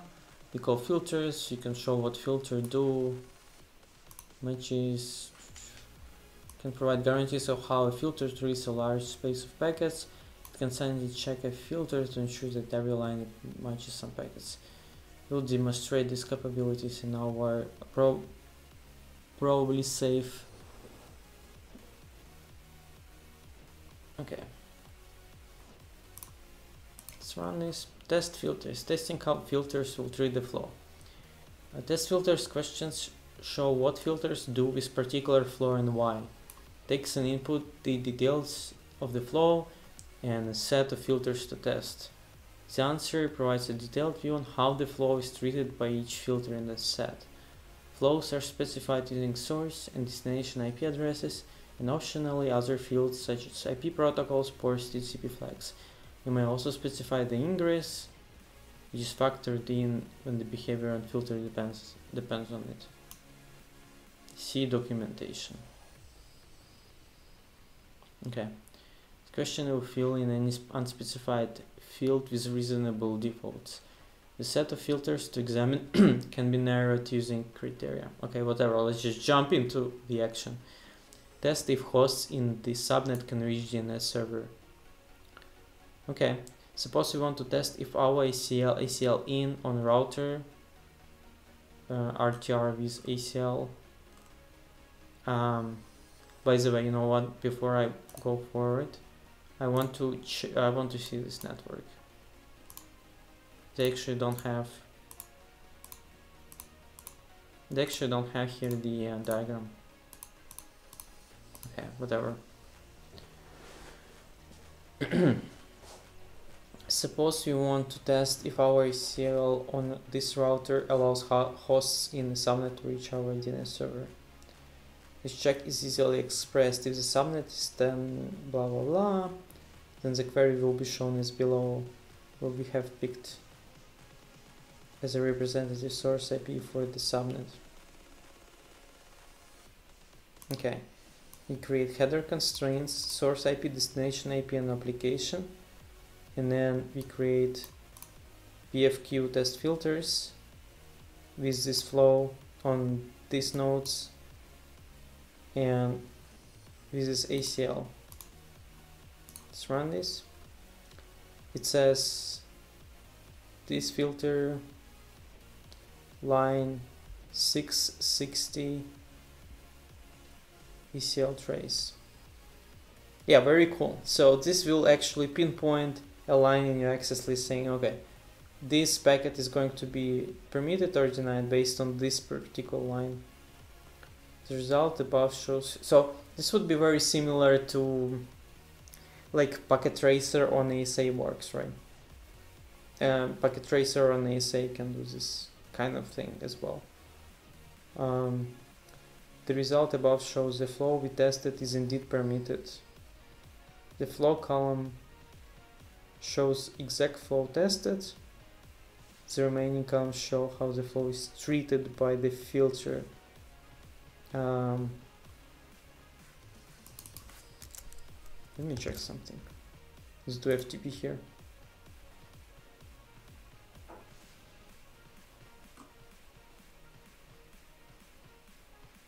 no protocol is the name of FTP. You guys are going to kidding going I forgot words but they must be kidding me here like they know DNS but they don't understand FTP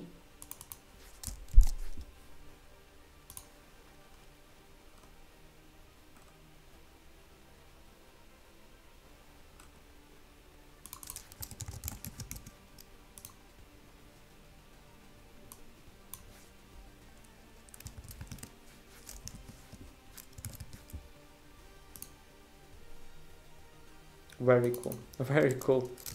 Um, yeah this is this is when you're trying to go a little bit off the rails. Okay. I'd have to investigate like where to find this list of applications for example. Probably somewhere in the docs but uh, actually you know what? Let's try finding this in the what but by Batfish read the docs? Here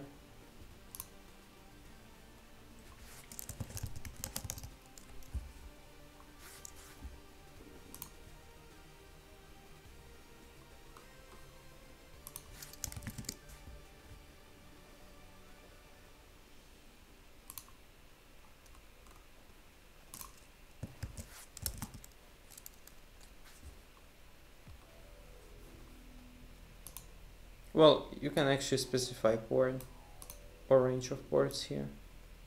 So destination ports, applications, not many applications to be fair. Um, I want to test this.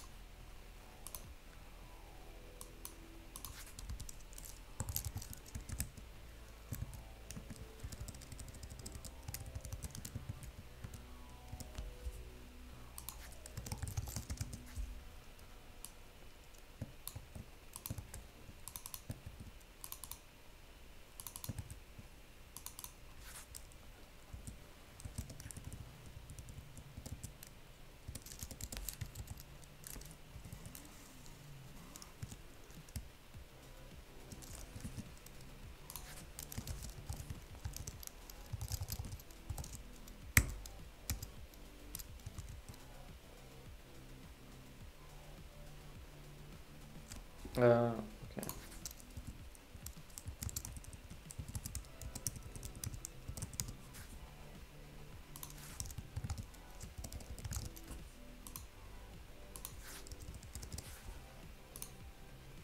Nice. Very cool. So that's okay. This is going to be denied because of this entry, deny TCP any any. Very cool.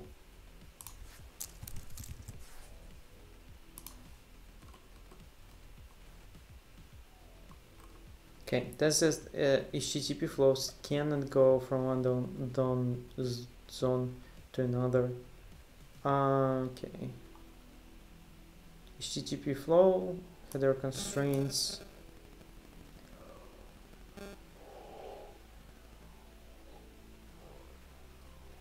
Incorrect comment, by the way.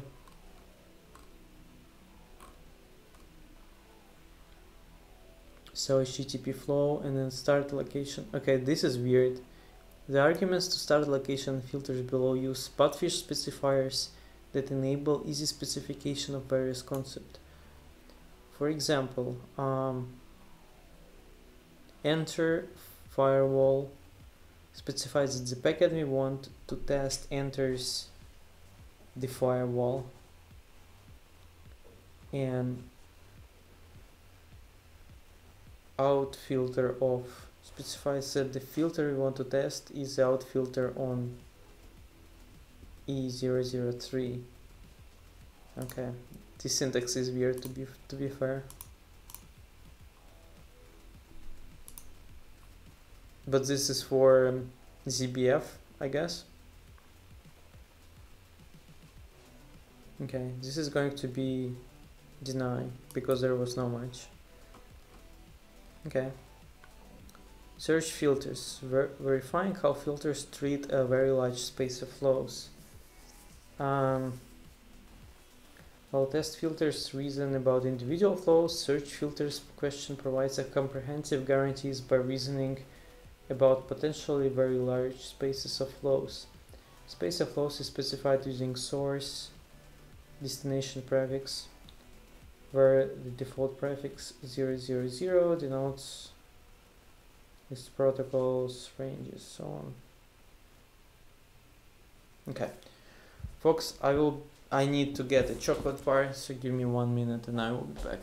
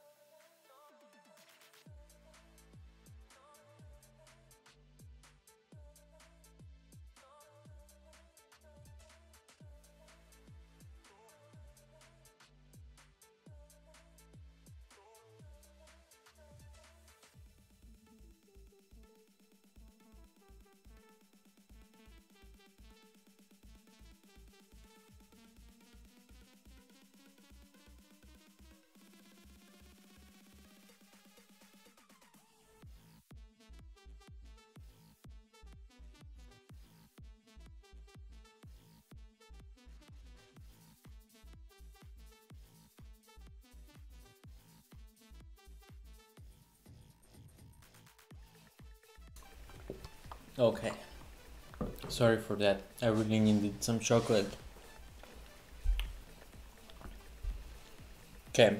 So, you know, while I was eating my chocolate bar, I was reading this. Um, so it seems this one is so here we had individual flows. We were testing it with test filters. Now this is more about like policy for a number of flows. So in this case, we say, I would like to check this whole range going from this range of IP to these IPs, all DNS flows. And then we want to see like if all of this, if all this traffic is permitted or there is some flow from this range that is going to be denied. So it's kind of like test filters, but for not for individual flows. In this case, we see that on the router, we are going to deny a flow 10.10.10.42 to this IP address. So this means that we have like incorrect policy, for example.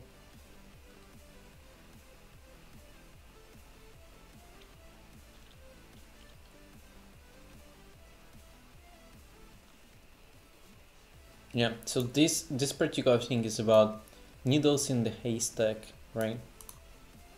So, like you know, majority of things works, but this one thing that you may forget forget, and then something doesn't work, or vice versa, something works when it shouldn't. So this is one of interesting use cases for this. And something like this actually will you will not get it just by using real devices, right? By default, you actually have to build a lot of logic for this because you, even if you get structured data about your access lists, you have to build the, like, you have to parse them so that you can then par you can feed the flow to your access lists and um, it's actually not it's actually not the simplest task to do to be fair in programming language mainly because of this data structure. So because if you want to do that you need to have uh, M3 uh, data structure. And like sim similar is the way the access lists and routes are stored in your routing uh, in your routers and switches so that you have a quick lookup based on the IP address. So let's say you have a bunch of entries, right, which are ranges, but you need to test specific flows.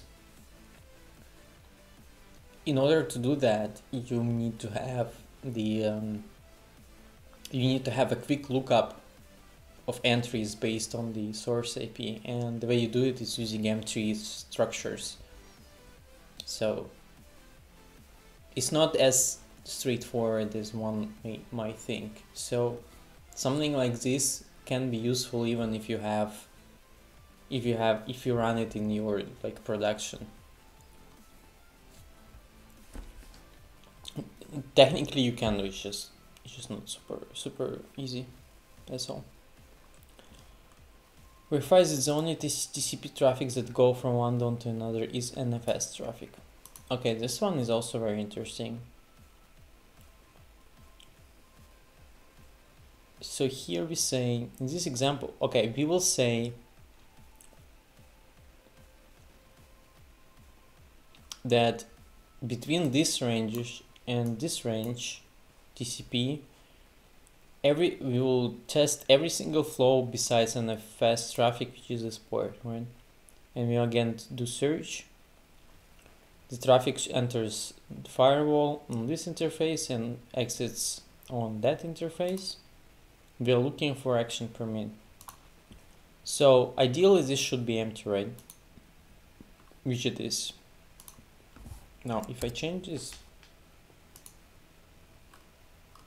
Okay so I change the port and it actually says, okay, there is an entry uh, for the port 2049 um, which allows and I'm actually looking I want to make sure that there are no extra flows which are allowed.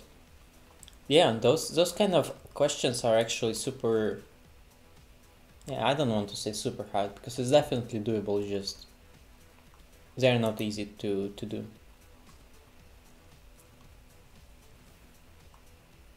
okay Next one, filter line reachability. Analy analyzing reachability of filter lines. When debugging or editing filters, it can be useful to confirm that every line is reachable, that is, each line can match some packets that do not match earlier lines. Unreachable filter lines are often symptomatic of bugs in past edits that did not achieve policy intent. Okay, this, this makes perfect sense. Um, also, very common problem I saw it so many times in tech, where there are like very big access lists, and there are entries which are not reachable. Uh, so yeah, I mean, again, it's, it's a very easy win, right? You just run this. If you do a config, you run this, and here you go. You, you can find out the entries. You say, okay, this entry is 670 permit IP any is unreachable because on the line 540 there is deny IP this range which covers this IP address any range. Very cool.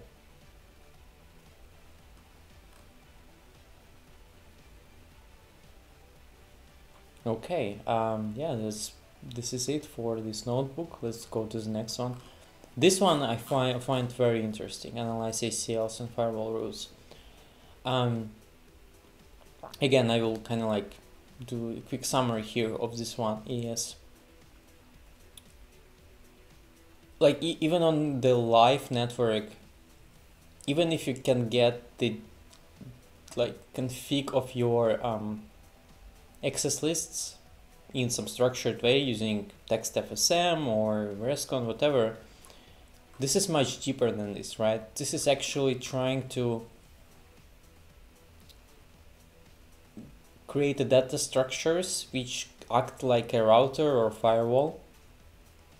Um, and as I told you, it's not super simple to do uh, in your programming language because you have to use special data structures to do that. So, and they basically do it for you, which is pretty cool. So this one can be actually used. Uh, I, I see use cases using this uh, on your production network to validate how your firewall rules and ACLs are doing. Very cool. Okay, next one. What is the next one? Prob probably safe. Probably. Pr provably. Sorry, not probably. Provably safe ACLs and firewall changes. Yeah, I think it, uh, it it's tied to this previous one. Probably safe. Changing ACLs is one of the riskiest updates in the network, In a small error can block connectivity to a large set of critical service, services or open up sensitive resources to the world at large. This notebook shows a three-step process that uses Batfish to make provably safe, correct changes to ACLs and firewall rules, which we generally call filters. Okay, we already did the previous one.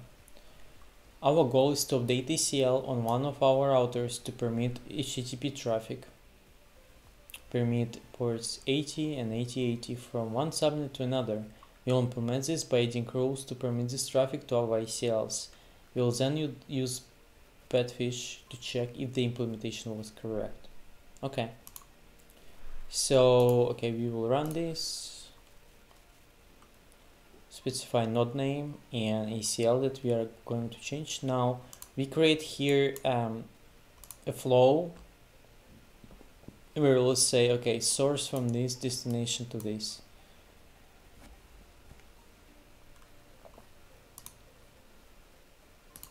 Okay. Before making the change, we will verify that the traffic is not already permitted, because if it is, we don't need to change anything. Agreed. We accomplish this using search filters question.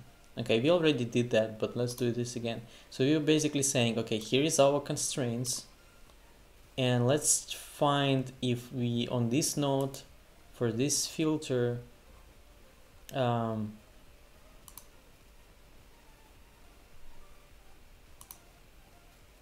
we will check if there are any answers right? Basically if there are no, no answers it means that this one is not allowed yet.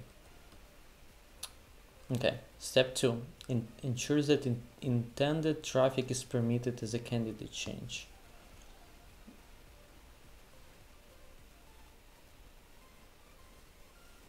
Okay, so they have a new set of configs that they generated and then they do diff and they add two lines, right? We can load the snapshot with this change into Batfish and ensure that all flows within intended traffic are permitted. We'll do that by asking the same search filter question, except now searching for flows that are denied instead of permitted. Okay, so now we change the snapshot name uh, and we re need uh, re need this whole thing again we then ask the same question here except you have to provide the snapshot argument I guess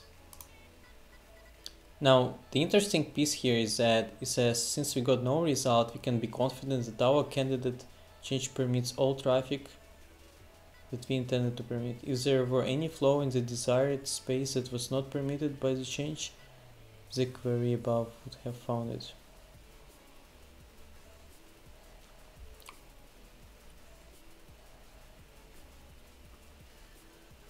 Okay, we are looking here for denies. Okay, so we are looking for uh, flows which are this, right? and which are are going to be denied after this change and we don't see anything so this means that everything that we need to permit is permitted typically engineer will stop change validation after checking that the intended traffic has successfully permitted this change however for safety and correctness we must also check that no traffic outside of the intended space has been impacted that is, our change has not caused collateral damage. Wow. Okay. This is cool. We can verify this using a diff version of search filters question. To search traffic outside of the flow space, we use invert search. Damn, this is... Damn, this is cool.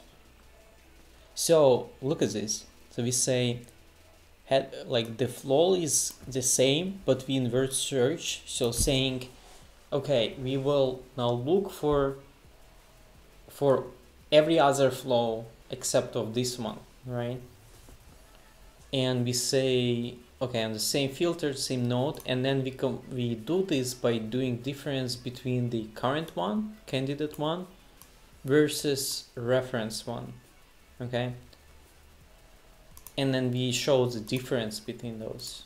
So you run this and we see that there is an entry. So what this means is that we had uh, collateral damage or the extra entries that change some of your flows that were previously working. So if you look on this, it says in both permit deny snapshot line content Unfortunately, we do get a result indicating that at least one flow outside of the intended space will be treated, treated differently than before. The column flow shows a flow that two snapshots treat differently. Particular, this flow has destination IP address 1818.18.32, which is uh, an outside of the IP address range that we wanted to permit.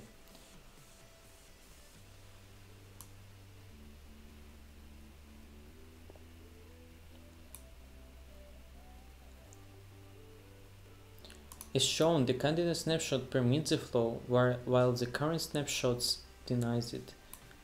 Um, so that means that we accidentally open up more space than we intended. Very cool.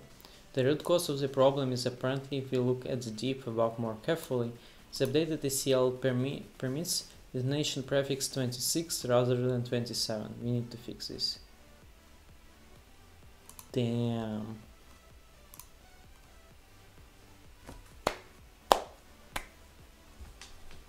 I'm amazed to be to be honest. Um,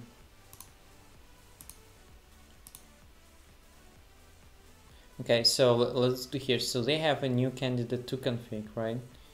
Uh, the same thing. We will look for deny uh, for that flow, so nothing. So it means that every single flow from this range is permitted, which is what we wanted. Now we do step three again, which will do the difference, right? And if this one is correct, then there shouldn't be no change. Wow. I am, yeah, I am amazed. Um,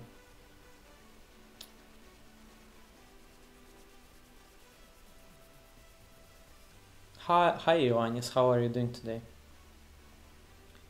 Um, you didn't miss much, only Mimi being amazed with the tool. but other than that, you didn't miss anything. Um, yeah, I am. I am surprised. Uh, this is something extremely cool.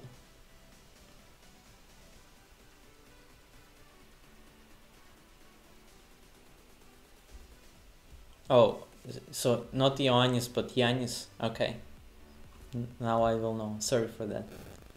Um,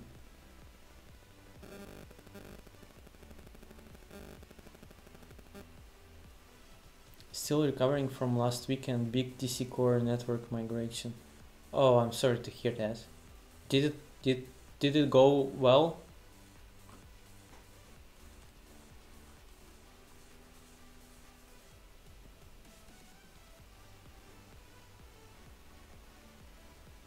Actually, something like this probably could have helped you. Like Batfish, I think.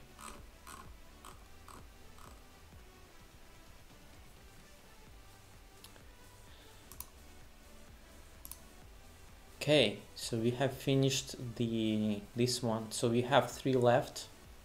Well, how how is the time? So we are live for two hours fifteen minutes. So yeah, we are good to go. Um, you still have time to finish this one. So introduction to forwarding analysis, introduction to forwarding change validation, analyzing the impact of failures, and letting loose a, a chaos monkey. Okay. So let's just jump right into it. Um,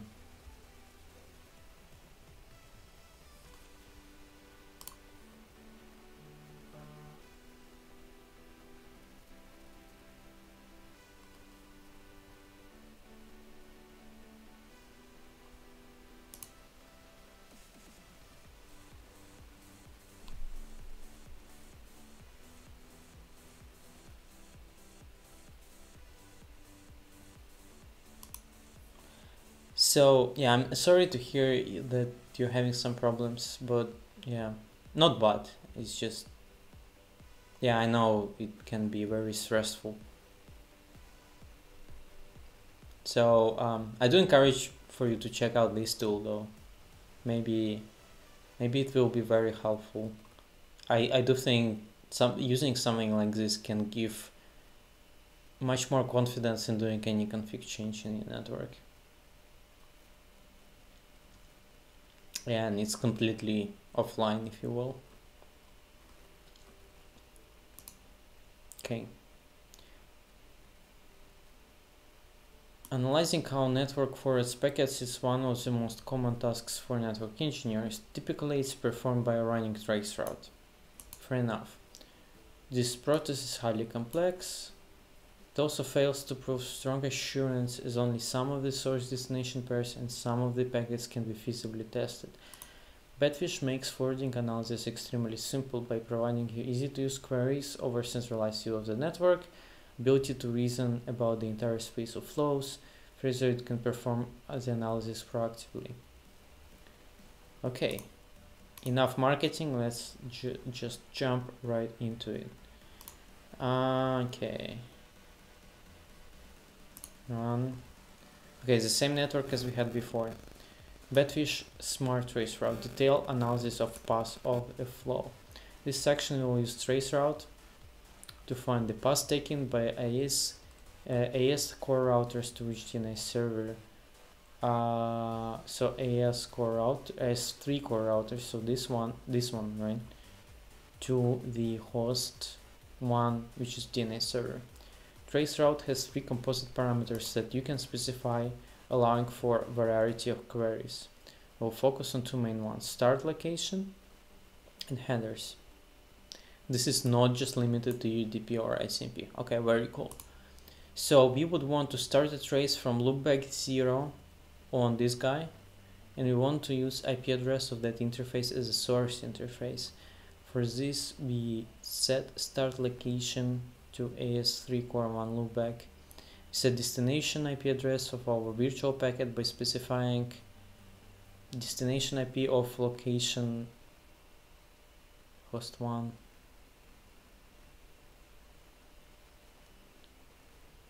okay. Very weird syntax like this but it's fine. So what they're doing header constraints destination okay. So we are like creating a virtual packet which says destination IPs of host one. Now we are uh, using this BFQ trace route which will start on this guy loopback 0 with specified headers. Let's run this. And pretty print this right? So we do that and this is what we get. So it says denied okay so it was denied. Let's try to find where it was denied. So it's my Siri got activated again. So um, node AS3 core 1 starts here then a uh, forwarded transmitted on 1 0 so probably here. As border 1 received on uh, 0 0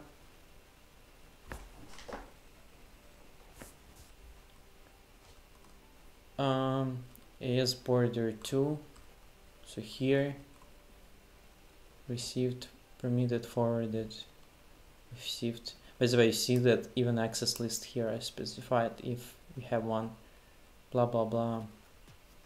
But then on the host one right so it goes uh, core 2 dis 2 depth 1 so core 2 dis 2 depth 1 then host 1 and then on host 1 you see that received on ETH0 and it was denied due to ingress filter. And then there is another path that this packet could take. Uh, well there are actually several of those. Uh, and then it was also denied. Is this different path? Yeah so this path is actually border 2a square 2 as dist 1 and then like this. It was denied. And then had two more. So the flow column describes the packet being traced. Uh, okay. I already saw that. So we trace the packet using UDP basically. Here UDP to default trace route port. Uh, well at least default in Cisco IOS and then this is well this is basically the same data that I just showed right? This is this last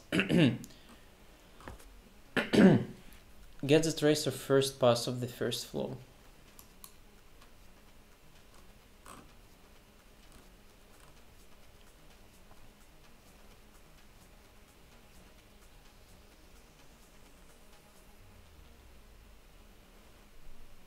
Okay.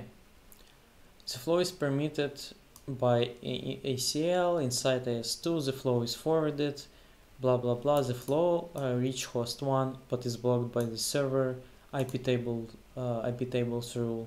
This one. The trace count column reports the total number of paths for each flow. This example the count four matches four path. Trace count count four matches four paths with traces column.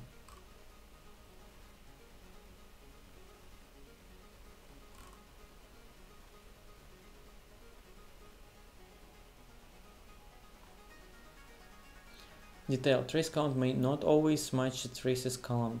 In networks with high CMP, there may be hundreds or even thousands of traces even for a single flow, in which ca eh, cases the traces column will produce fewer results. Okay.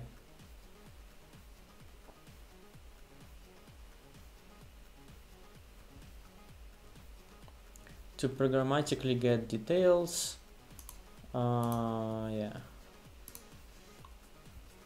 So it goes through the hop, host one,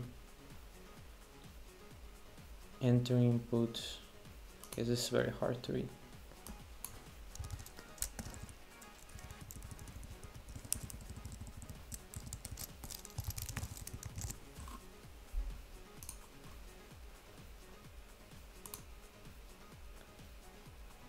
Note that compared to running tracer is able to provide much more detail about the trace. All active parallel paths between source and destination, the reason why each hop in path is taken. All processing steps inside each hop are on the path, all interfaces visited and filters encountered during this trace, the disposition of the flow. Okay, I do have, I mean, this is definitely cool, though as I told before on the routing section. Yeah, I agree this is like much more information though. The question is like, would you trust it, right? Because all of this is um, completely emulated from your configs. Uh, so, to be honest, I don't know. Like, I am. I don't think in this case trusting the tool would be a best choice. Um, I would have much more confidence if I were to use the um, tools on every single device like Packet Tracer on ASA or Packet Trace on like IOSXe for example, which actually goes through the actual control plane or data plane of the device. Um, yeah. I just yeah i'm i don't have com it's cool to see this but i just don't have enough trust i guess or confidence in a tool like this because so many things can go wrong. I mean it's cool like if you already have it and you kind of like want to have quick glance of the desired state if you will but to actually like use it rea- reliably in troubleshooting process, I would I wouldn't do that.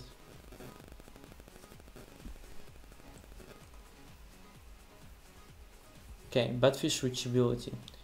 Search for forwarding behaviors in large space of flows. Detailed information about all paths taken by a specified flow through the network, which is a powerful capability by exploring and testing network behavior. Network engineers often need information about some type of the flow without being able to specify a particular flow of the type. For example, we may want to know what TCP flow can or cannot reach a particular host. In other words, we want to search within a huge space of TCP flows addressed to that host. Batfish reachability question is an easy and efficient way to to do exactly this kind of search. Okay, this this is inter this is more interesting. This is something that I would trust a little bit more. So search for DNS flows that reach DNS server. Um, okay, so we have path constraints. It should start from AS AS2. Well, I guess from different different um, devices. Header constraints will be any IP address as a source, go to any IP address of the host for the DNS traffic, and then we use this reachability uh, with all these things. We run this, and yeah, I guess it will be many flows, right? Okay, so yeah, there basically there is one flow identified which starts with AS2 border 1, source IP 0, any port, uh, and then goes to the specific IP address and 53. Then another flow on AS2 border 2, AS2 core 1, AS2 core 2, and so on and so forth. Yeah, this is pretty cool. So we are able to identify different um, uh, different flows to like based on some constraints that can go uh, and actually forwarded and not dropped anywhere. Again, according to the Batfish control plane. Um, okay. Using Batfish reachability as a verification tool. Um, performs, okay, Batfish uses exhaustive search, considering every possible flow. This makes it very powerful tool for finding bugs, and when no bugs are found, it provides strong guarantees about network behavior. Okay, um, I I agree with this. I agree that it seems like a very powerful tool if it's doing exhaustive search. But about like strong guarantees, I wouldn't say like this. Again, because um, it all is about like how confident you are that implementation of your control plane is actually correct. And I am not. Um, but even then, there are some some um, things that affect your forwarding in real time. Even if you if you emulated the control plane perfectly, right? There are some things that affect con uh, like control plane in real time. One of them is something like QoS, you know, like num like what is congestions and all of this stuff, everything related to congestion and bandwidth and loss, packet loss and all of that, right? So this can affect how your traffic is forwarded or dropped. Um, and then the next one is obviously bugs, right? Um, so, you know, in some conditions there are some bugs in forwarding and then you know Batfish will kind of like model this ideal world with some without some features but in real life it can be different so um, I definitely see it as a very powerful tool for finding bugs uh, and when they say bugs here they mean errors actually those are not like device bugs right just, just to clarify I think this is this they should change this word here uh, this is just errors that you have in your config. Um, but I wouldn't call it like a strong guarantee. No, um, this is too much. It allows you to verify essential network properties like availability of security. In the following examples, you will use reachability to verify the intended availability and security properties of our DNS server. Okay, verifies the DNS server is available everywhere inside AS2 to, to verify DNS is available, we search for flows that would demonstrate a lack of availability. DNS flows to host one that would fail to be delivered. Our intent in this case is that no such flow should exist in the network and this is where we see the power of exhaustive search. Okay, so they say start location is AS2 again going to host one application DNS and then we're looking so previous case we were looking for success now we're looking for failure. Um, yeah so we are looking for um, for flows that would fail we don't find one so it seems we are good. So then and then the next one no UDP traffic except if DNS is accessible. So in this case very similar one except here we say UDP but not port 53 and then action accepted. Interesting what is the difference between action success and action accepted? I don't know but we run this and we say okay since Batfish returns zero flows we are guaranteed that no unauthorized UDP flows will reach host 1 okay kind of makes sense. But again, this is not a strong guarantee.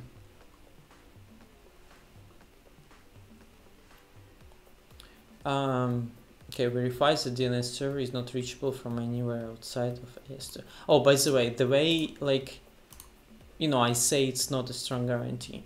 The way to have it like as, as a strong guarantee is to actually do a pen test, right? So, you know, you would have um, you would you would run millions, millions of flows from your pen testing tool trying to understand if this traffic is permitted or not and if it's according to constraints on your real network. That would be much stronger guarantee that Batfish will give you. But even in this case, it's very useful.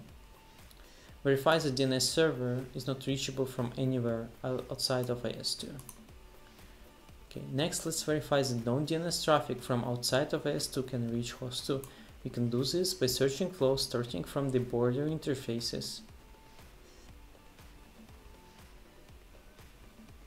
We use enter function and model the traffic is received on the interface rather than starting from a border router. If we didn't relax source to only source IP addresses within the connected subnet of border interfaces would be included in the search. Okay, so this case we are changing location saying okay on any device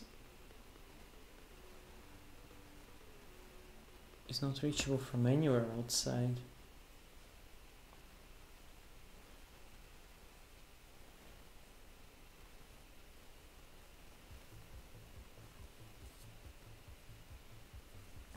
Um, what? I don't understand this because this says AS2 border 2 uh, well border so on like on every AS2 border device. Let's verify that no DNS traffic from outside of AS2 can reach. Oh okay I think I got it. So AS2 is here we are basically saying on every entry point so here and here if the traffic is coming from there to DNS, then it should be should fail. Um, where is this? So on gigabit 2, on gigabit, gigabit 00, on AS2 border uh, star, right? Um, and then destination host 1, application DNS, we run this, and we get this one accepted. So there are here some, some flows uh, which says, okay, um, this traffic will actually go through. We found that DNS server is not secure. External DNS traffic that can reach host 1. However, we did, we did find where to look. In all likelihood, the outside to inside ACL on board the router should be blocking more DNS traffic. Okay, makes sense.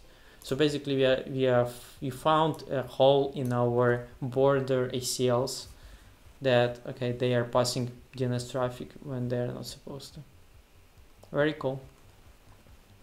Multipath consistency, verify treatment of flow across all paths.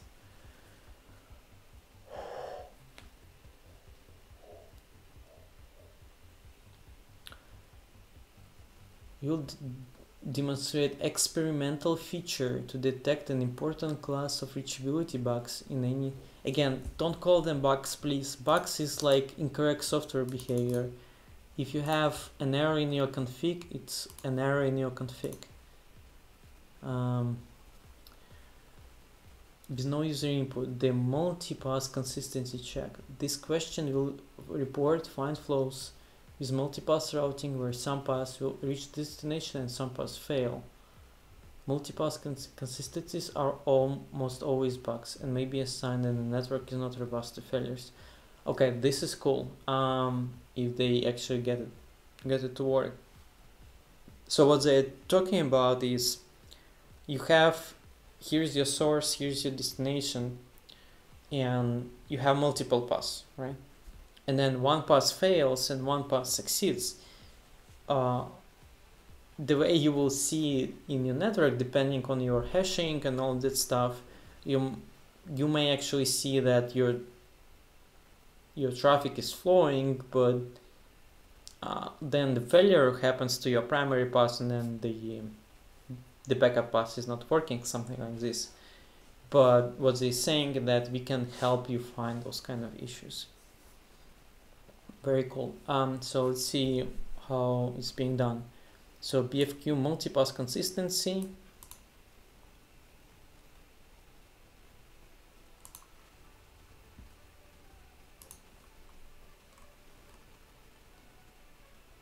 Okay, so he, what they're saying here is that this flow with this source, with this destination, uh, will there are multiple paths, right? There is path AS2, AS2 core 2, AS2 border 2, AS2 core 1.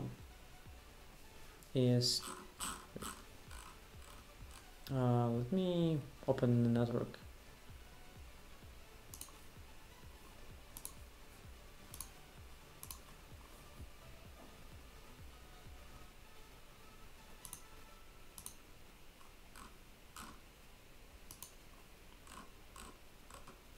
So AS2 core 2, AS2 core 2, AS2 border 2, AS2 core 2, AS2 border 2,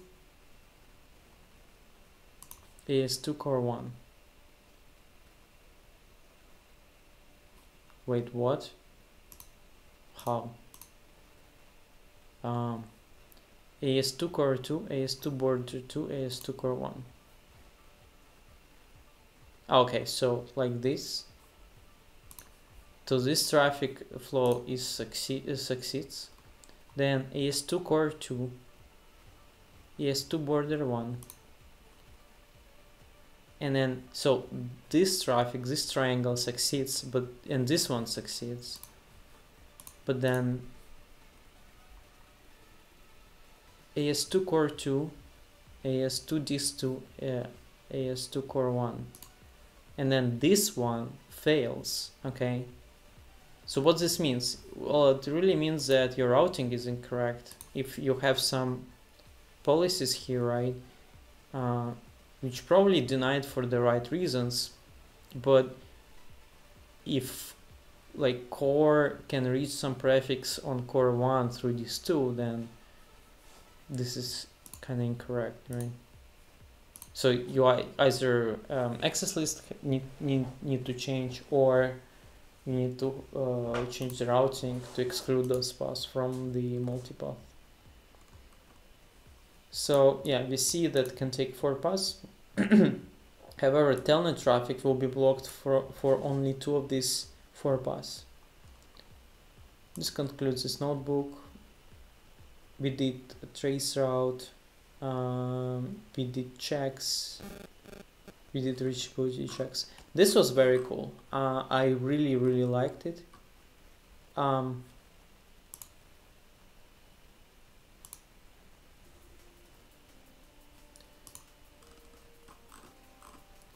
they they used couple of words here that they didn't like. They used they used word bug which is not what usually mean means. Um, and then they used strong guarantees here which I also kind of don't agree.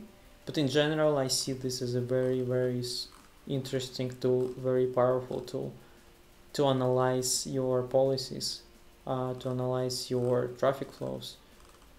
Um, you know find like paths which will um, you know mul some multipath checks i really found that fascinating.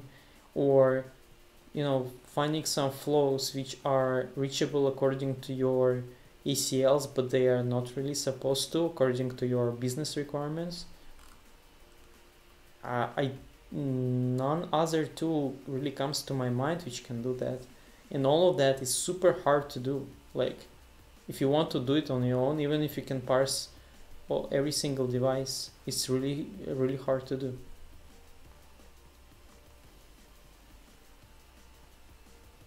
okay next one. So we have two left and we are right now recording for 2 hours 30 minutes. I think very good. So we have uh, forwarding change validation and analyze, analyzing impact of failures. Let's jump right into it. So this one. Okay Network engineers frequently have to make changes, add new routes, open close flows, route traffic. This notebook will show how you can validate changes to your forwarding before you deploy them. uh, and let me clear output first. Okay, this is new network. Um,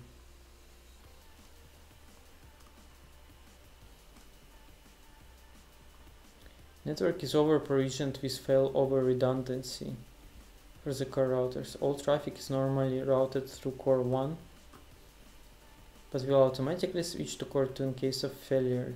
This scenarios, scenario we want to service core 1 and thus want to shift traffic to core 2. We will implement a change to cost out core 1 and verify that it does not affect end-to-end -end reachability. In general, we care about three classes of end-to-end -end traffic. External to host, host to external, host to host. For simplicity, we focus on external to host traffic. Okay, test current behavior. Uh, okay, let's run this. Batfish will automatically compute RIB and FIB. Let's uh, let's do that right now by using trace route function to see how external to host traffic is routed. Start parameter is enter border on gigabit 000. Okay, so we are saying that traffic can enter here or traffic can enter here. And header, this is going to go to either this host or to this host. And yeah, the trace route result Okay, let's run this. And here are all the flows that are, well, not many. Interesting. Oh, we, I think we are showing only the one that are allowed. Um, trace routers include the flow from each port the router and all possible paths for each flow. As we can see in traces column,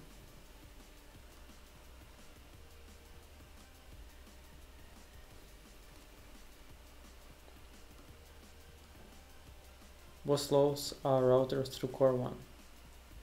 Yeah, I can see it right here. Next, we'll cost out core 1 and cause all traffic to start being routed through core 2.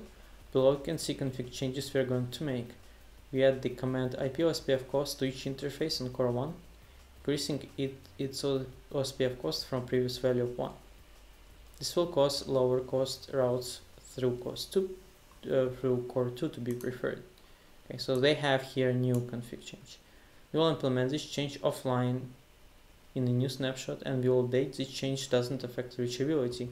Having done so, so we will able to push the change to the network with complete confidence will, val will validate this change using a two-step process. Okay, so we in load a new snapshot to verify that no outside to host traffic is routed through core 1 we need to search for counterexamples outside to host traffic that is routed through core 1 okay we do this using reachability visit transit location. Okay, so we're saying here reachability, the pass should go enter on the border on gigabit 00 and transit location core 1. And we will say success or failures. Okay, we run this. Okay, so what we are saying here that now no flows are going to run through core 1. This verifies the first requirement of the change. Outside to host traffic is unaffected. In this step, we will compare the forwarding behavior of the candidate using the original behavior. Okay, and then they use this differential reachability. So they say uh, those are constraints.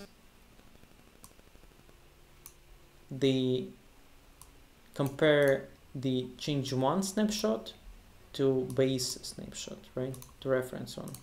So we run this and we actually see changes.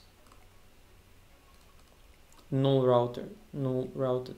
So we actually see that some traffic, as we can see moving traffic from core 1 to core 2 does affect reachability. Some traffic was being delivered in the reference snapshot is being null routed This means if we deploy the change now, there will be a loss of connectivity. Fortunately, we were able to identify this. Results include the example flow for each start location that has traffic affected by the change. Each flow comes with a detailed trace of the path.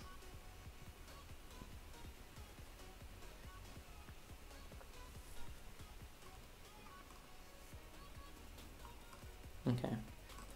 So yeah, basically there is some null route appeared out of nowhere. Um, so now we apply the fixed one and we run reachability again. We see that no, we find no traffic being routed to core 1, which is good. And then we run this differential reachability again to make sure that there are no changes. So we are saying basically that all flows are still success or failure as they're supposed to. Um, okay, scenario two. Validating end-to-end -end impact of ACL change. We will update another change to the same network. Unlike previous scenarios, this time we do want to alter end-to-end -end reachability and we will verify that our change has the intended effect. As before, we will also verify that it has no unintended effects. Okay, we have developed tested new web service called host www and we are now ready to open it to HTTP traffic. on leaf 1 there is an ACL. So on this guy there is an ACL. This change will make and validate will open traffic to the host subnet. Okay, we start by using traceroute to verify that currently it's not accessible.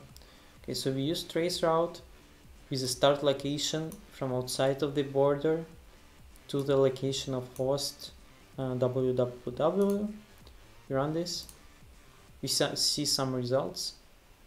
So, oh, and they are denied. Okay, fair enough. So you can see the flow is dropped by the ingress ACL outside to inside this is where we will make our change okay so on borders this traffic is being dropped so the first line permits SSH traffic. To host subnet We'll create a similar rule for HTTP here's the updated version. Okay so we update this.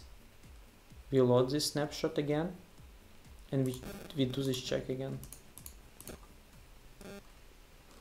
And now we see that both of them are accepted.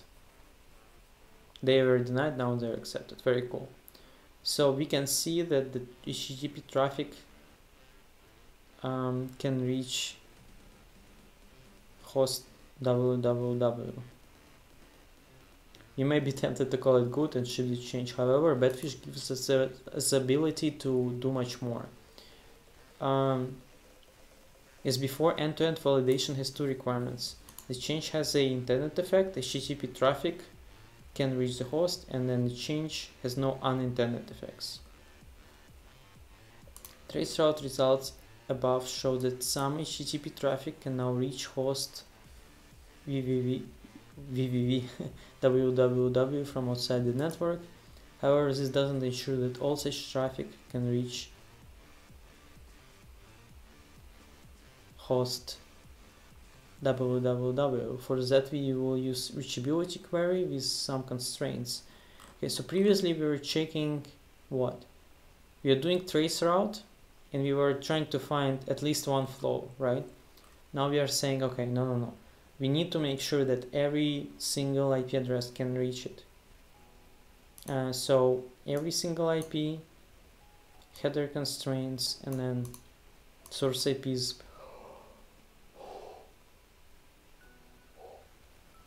Zero zero zero, and we are looking for failures. So we are looking for some of the hosts with some arbitrary IP address which will not be which will not be able to uh, uh, to reach our server. Okay, not, none of them were found. Now we check the second requirement, we see are there any side effects, right? And then they use this BFQ differential reachability where they say every traffic enters dir0 header constraints that are is going to www invert search.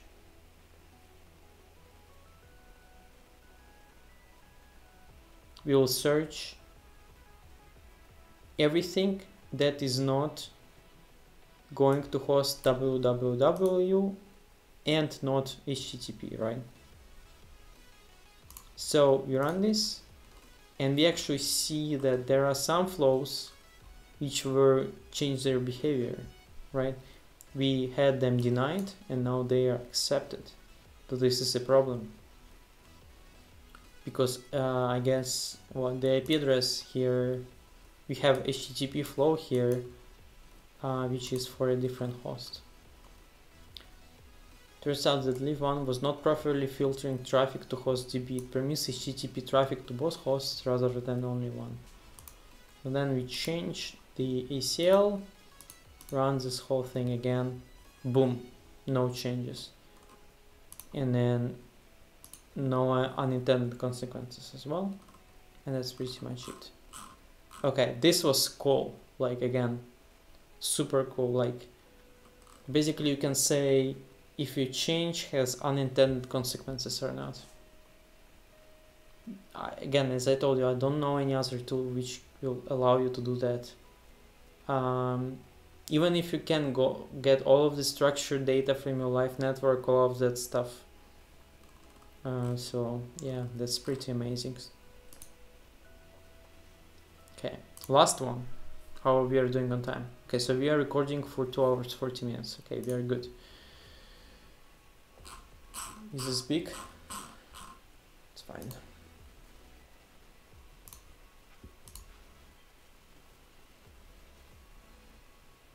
okay Planned maintenance and unplanned failure of nodes and interfaces in the network is a frequent occurrence. While most networks are designed to tolerate, to be tolerant, to have confidence that they are in fact tolerant is difficult. Network engineers often reason about network behavior under failures manually, just complex and error-prone tasks. So, uh, okay, um,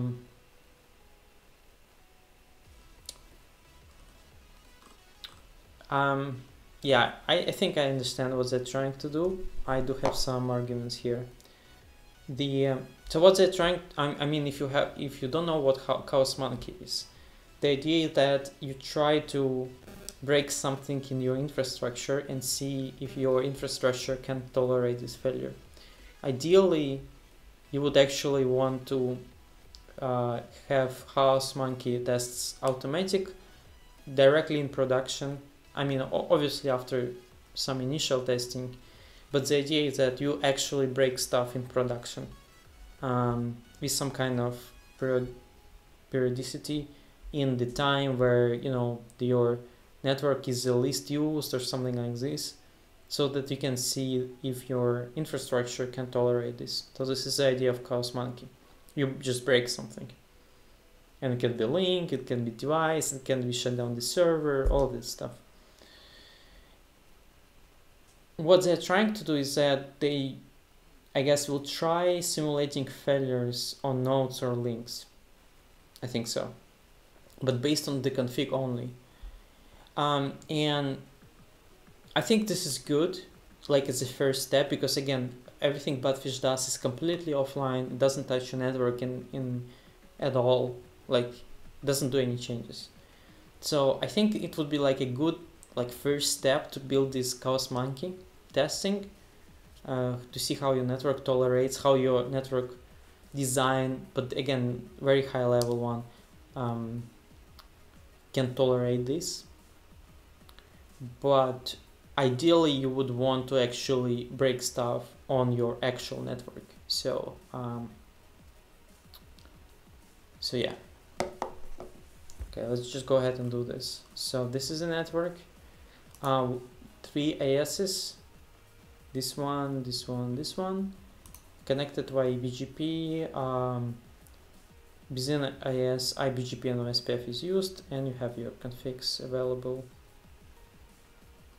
If you can, if you can, if you want to take a look, we don't want to. I don't want to read any kind of config anymore. Okay, so we load this and then simulating network failures. To simulate network failures, Batfish offer, offers a simple API that clones the original snapshot into a new one with a specified failure scenarios. Suppose we want to analyze scenario uh, where is the node London fails, we can use BF4X snapshot to simulate this failure as shown below. Okay, so you use this function, uh, you create a new snapshot where you kill the node London. Cool. Uh, in addition to deactivate nodes, you can also deactivate interfaces or deactivate links if you want to. So yeah, you can kill many things at once. To understand the network behavior under simulated failure, we can run any Batfish question on newly, newly created snapshot.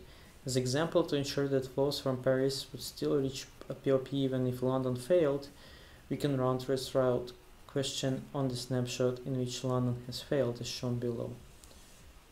Um, okay, so yeah, I guess the idea would be to have some kind of like your traffic requirements, what is supposed to work all the time, right? So then here we're saying traffic from the uh, well going to going from Paris to the this POP prefix to any IP address there should not fail.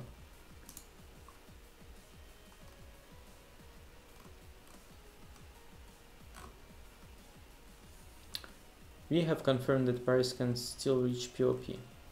Okay, so even if London fails, we can still go out. Now checking changes of forwarding behavior for all flows. Above we saw how Batfish can create new snapshots. This capability is useful to test the net forwarding behavior under interesting failure scenarios. In some cases, we may also want to verify that certain network failures have no impact on the network.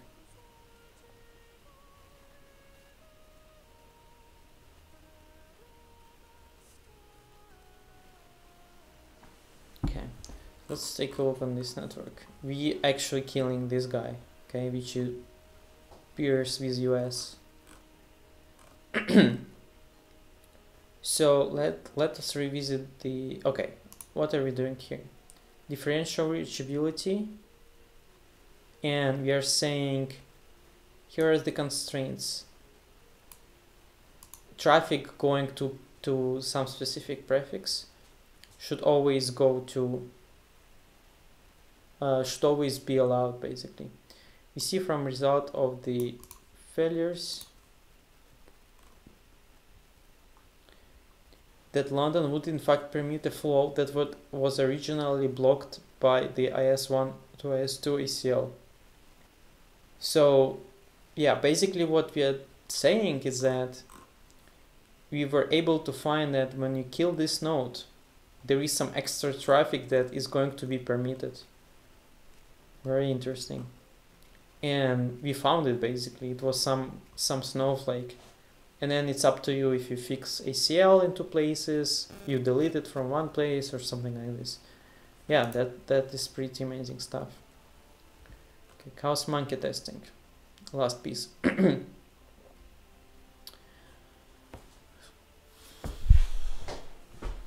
Chaos Monkey style testing, common method to build highly reliable software system.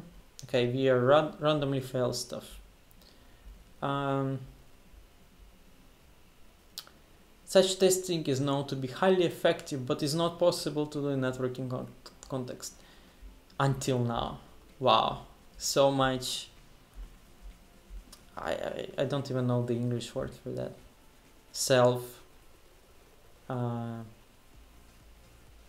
damn I forgot the word. You know when you are too proud of yourself. And like you know we are this and that. So I mean it's obviously possible in networking context. There is nothing about networking that makes it impossible. The except if I get the fear uh, like a lot of people like are really scared to do that. But in general the idea is very good. Okay so like in some hours you would break something in your network you would reload the router for example you will shut down the link or something like this and it would be done completely automatically and you see how your network behaves and it should tolerate these kind of things. Um, and so saying that it was not possible until now it's, it's just a lie. Um, but yeah i mean this is a good tool like a step towards it because it allows you to do this kind of thing without breaking anything in the network. So okay let's check out what they actually do. Can easily enable chaos, uh, chaos monkey testing. Using base, basic function we can compose more complicated function that will randomly fail links and identify potential vulnerabilities in the network suppose we want to we wanted our network to be robust to any possible two link failures the below shows how to perform chaos monkey testing to identify two link failures that can cause an outage specifically we will have follow uh, will fail a pair of links picked at a random and check whether the uh, forwarding behavior will be changed. Okay, so let's see. So they have a specific seed, max iteration 5, so they will, will do it 5 times. Uh, we select a random link from the all links. And then we create a new snapshot where we deactivate, deactivate these interfaces. And then run differential reachability for specific prefix which should always be reachable. And then if um, if this contains any data we will see what's going on. So we run this and you see that um, when you kill when you kill this link, this link and this link, I think, your reachability fails. We see that there is a failure scenario in which the network is not robust. This failure will lead to a change in forwarding behavior of the of at least some flows. This scenario is a failure of two links that connect Seattle to Philadelphia and San Francisco. This is unexpected because Seattle has another link that connects it to the rest of the network and should generally be available for traffic. Let us diagnose this. Okay, so this is a change that is going to happen. There is no route. Uh, so previously it was exits network, now it, it's no route. You see when the link fails, we if we ignore flows that end in Seattle, general pattern is that Asia loses connectivity to US It's quite surprising because after those failures we would have expected Asia to be able to reach US via Europe. To investigate further the root cause, we ask Batfish to show how the routing table in two cases differ.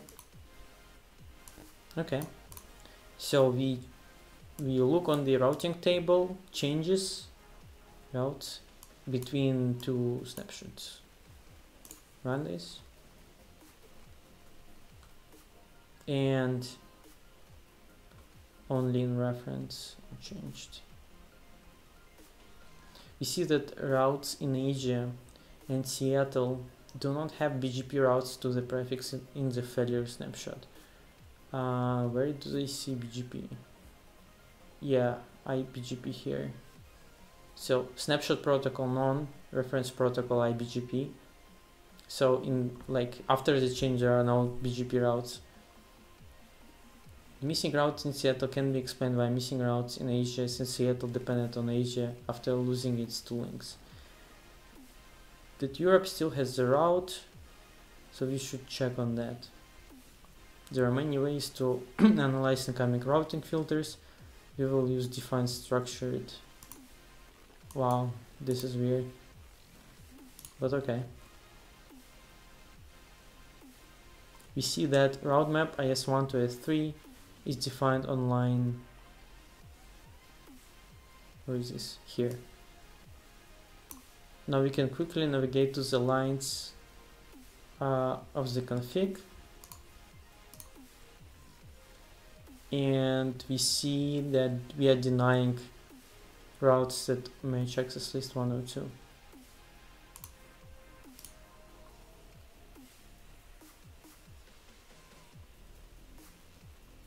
We see that the list includes the prefix of interest, thus the route map inadvertently blocks the prefix, thus disconnecting Asia from US when Seattle or it links fails.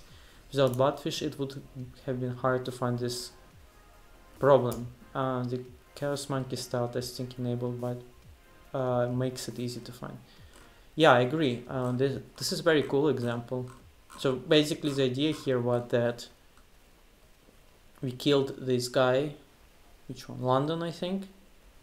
And um, some prefixes lose, lost, lost uh, connectivity, which is very cool. Dmitry, your endurance is second to none. Thank you. Okay, uh, we actually went through all of the tutorials here. Um, so let me know if you have any questions while I, I'm going to do a summary. Let me go though to this one. So that I, because that, that was a lot to be honest. Even though the length of the stream is usual, like three hours, I first I feel exhausted and second like I feel there was a lot of information and a lot of code samples. Uh, usually much more than I usually like do during the stream. Um, so on this stream we looked at the tool called Batfish which is network validation tool. The general idea for the Batfish is the following. It um, let me bring up one page. So the general idea is that it loads configs um, well it loads network topology and configs of different devices and builds a emulated control plane for an emulated kind of data plane as well for your devices in your network okay? The batfish doesn't connect to your network devices doesn't do any changes no, none of that. You just take the configs from your devices give it to batfish and it builds this emulated network for you. Just the control plane. Um, and they have big support of vendors.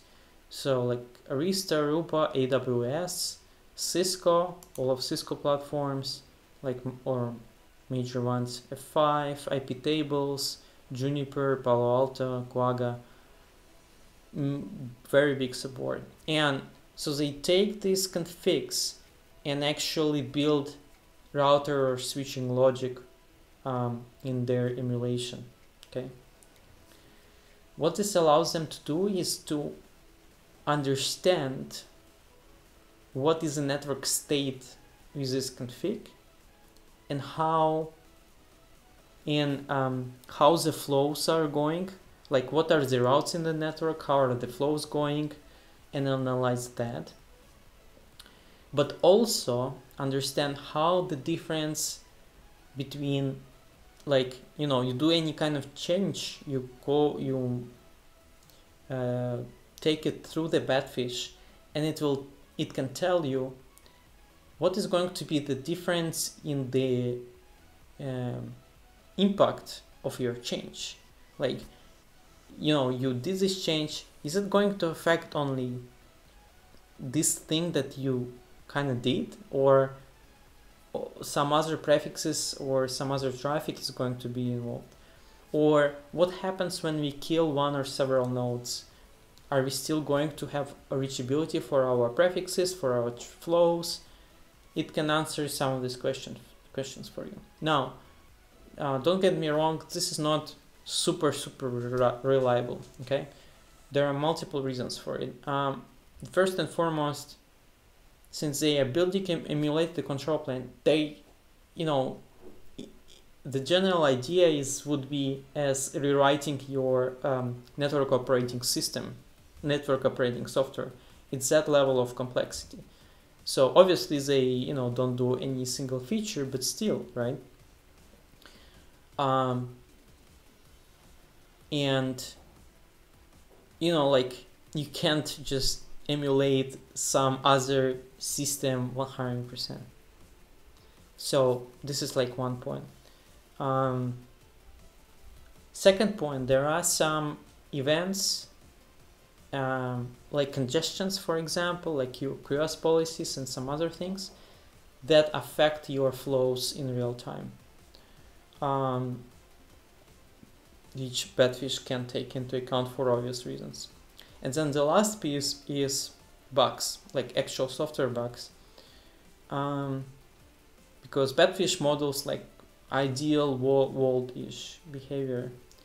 Uh, and also, besides software bugs, there can be also changes in forwarding logic between different um, network operating system software, uh, which will also like may have impact on that. So be careful about you know those restrictions. Um, however, besides all of that, I see this as a great tool. Um, even considering that I don't like the like how it's packaged and distributed, that you know it was a little bit painful at the beginning. Like how do I get this binary or whatever they have and run it in my own environment or you know something like this. And I also think their docs are also meh. But um, I see a lot of value because there are some things that you it's really really really really hard to do on your own. Like there was one thing that we were doing analyzing ACLs and firewall rules. Batfish can then give you some information about how your flows are behaving for this access list or firewall rules changes. This is super hard. No, I shouldn't say super hard. It's just hard to do in on your own. The main reason why, if you think about something like ACL or routing table or something like this, you have prefixes there. You don't have like an individual IP addresses. Okay um, the reason why this is important is that, um, well, routers use um, specific data structures to be able to model this. Uh, those are usually called mtrie. Um, so that you have a quick lookup based on your, let's say, destination IP address or source IP address or something in these ranges. Uh, so if you want to do something like this, not only you have to parse, let's say, access list or routing table, you have to implement your mtrie data structures in your programming language and understand how to operate with them. So all that is can be done. It's just it's not super straightforward. Just letting you know. So they do all of that for you in multi-vendor fashion, which is super cool. And uh, there were some examples that I was really impressed. Like you know, you're trying to do this ACL change and yes it changes what you wanted to change like you know you wanted to enable http traffic to this. But with this tool you were also able to find that other flows were affected by this change okay? Which i found like you know amazing. This is super hard to do in your a real network. So i think i see a couple of like main use cases. First one is um, the main one from my perspective is understanding, well, doing network testing uh, with this in kind of like semi-offline manner where you do it directly in CI/CD. So you're trying to push your change. Uh, I don't know, it goes through template or maybe not, doesn't really matter. It goes then through CI/CD and then it runs Batfish to make sure that your requirements are still met. So this is uh, the like the main use case. There are some alternatives to that if you don't want to do that, if you don't want to use like Batfish. You could spin up your virtual network in GNS3, VIRL, whatever, deploy your config and then run tests this way. So you can do that. Um, and this is what I probably do, but there are some there are some things that is still really hard to do like because they for some things they do exhaustive search like they can find every single flow um, because they're like doing exhaustive search for every single flow. Um, and you probably will not write it on your own in your tests. So this is very cool. Um, so yes stuff like this. Now another interesting piece i guess is this last one where um, you're doing chaos monkey style testing. I think this could be very useful for architects right?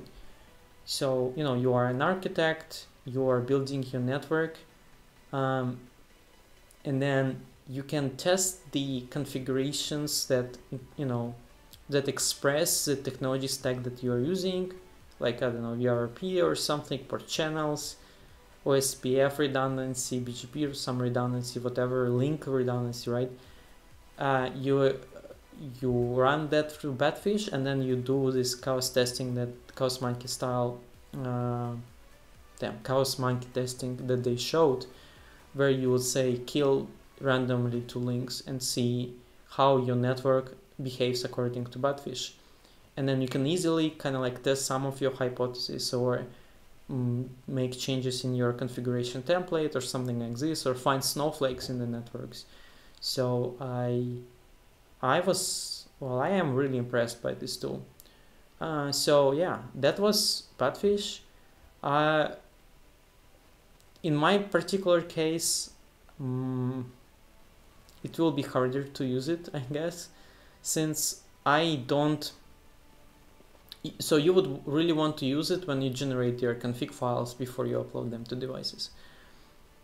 The reason why I can't use it really is because I don't do that. I don't upload my uh, like config files to the devices. I configure devices using using netconf, uh, well netconf basically. So it doesn't seem like this supports netconf base configuration. Um, well, if it did, then probably I could use it um, for my stuff. So, so what this really means, if I really want to use Batfish for my stuff, then I would, and I like I upload the uh, config from using netconf, and then I download it again, and then I feed it to Batfish. So it kind of feeds the whole purpose of doing some test in your CI/CD uh, before you deploy it.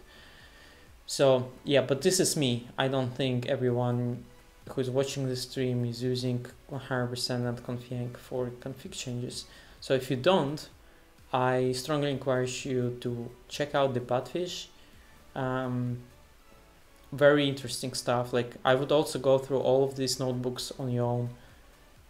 I just find it I find it fascinating. Even though there are some problems, I don't think docs are very good and the like distribution is very good, but the functionality wise is very very very uh, impressive. So that was my take on Batfish. Um, really like it. Check it out, folks. And with that, thank you very much for joining the stream today, and I will see you next week. Bye everyone.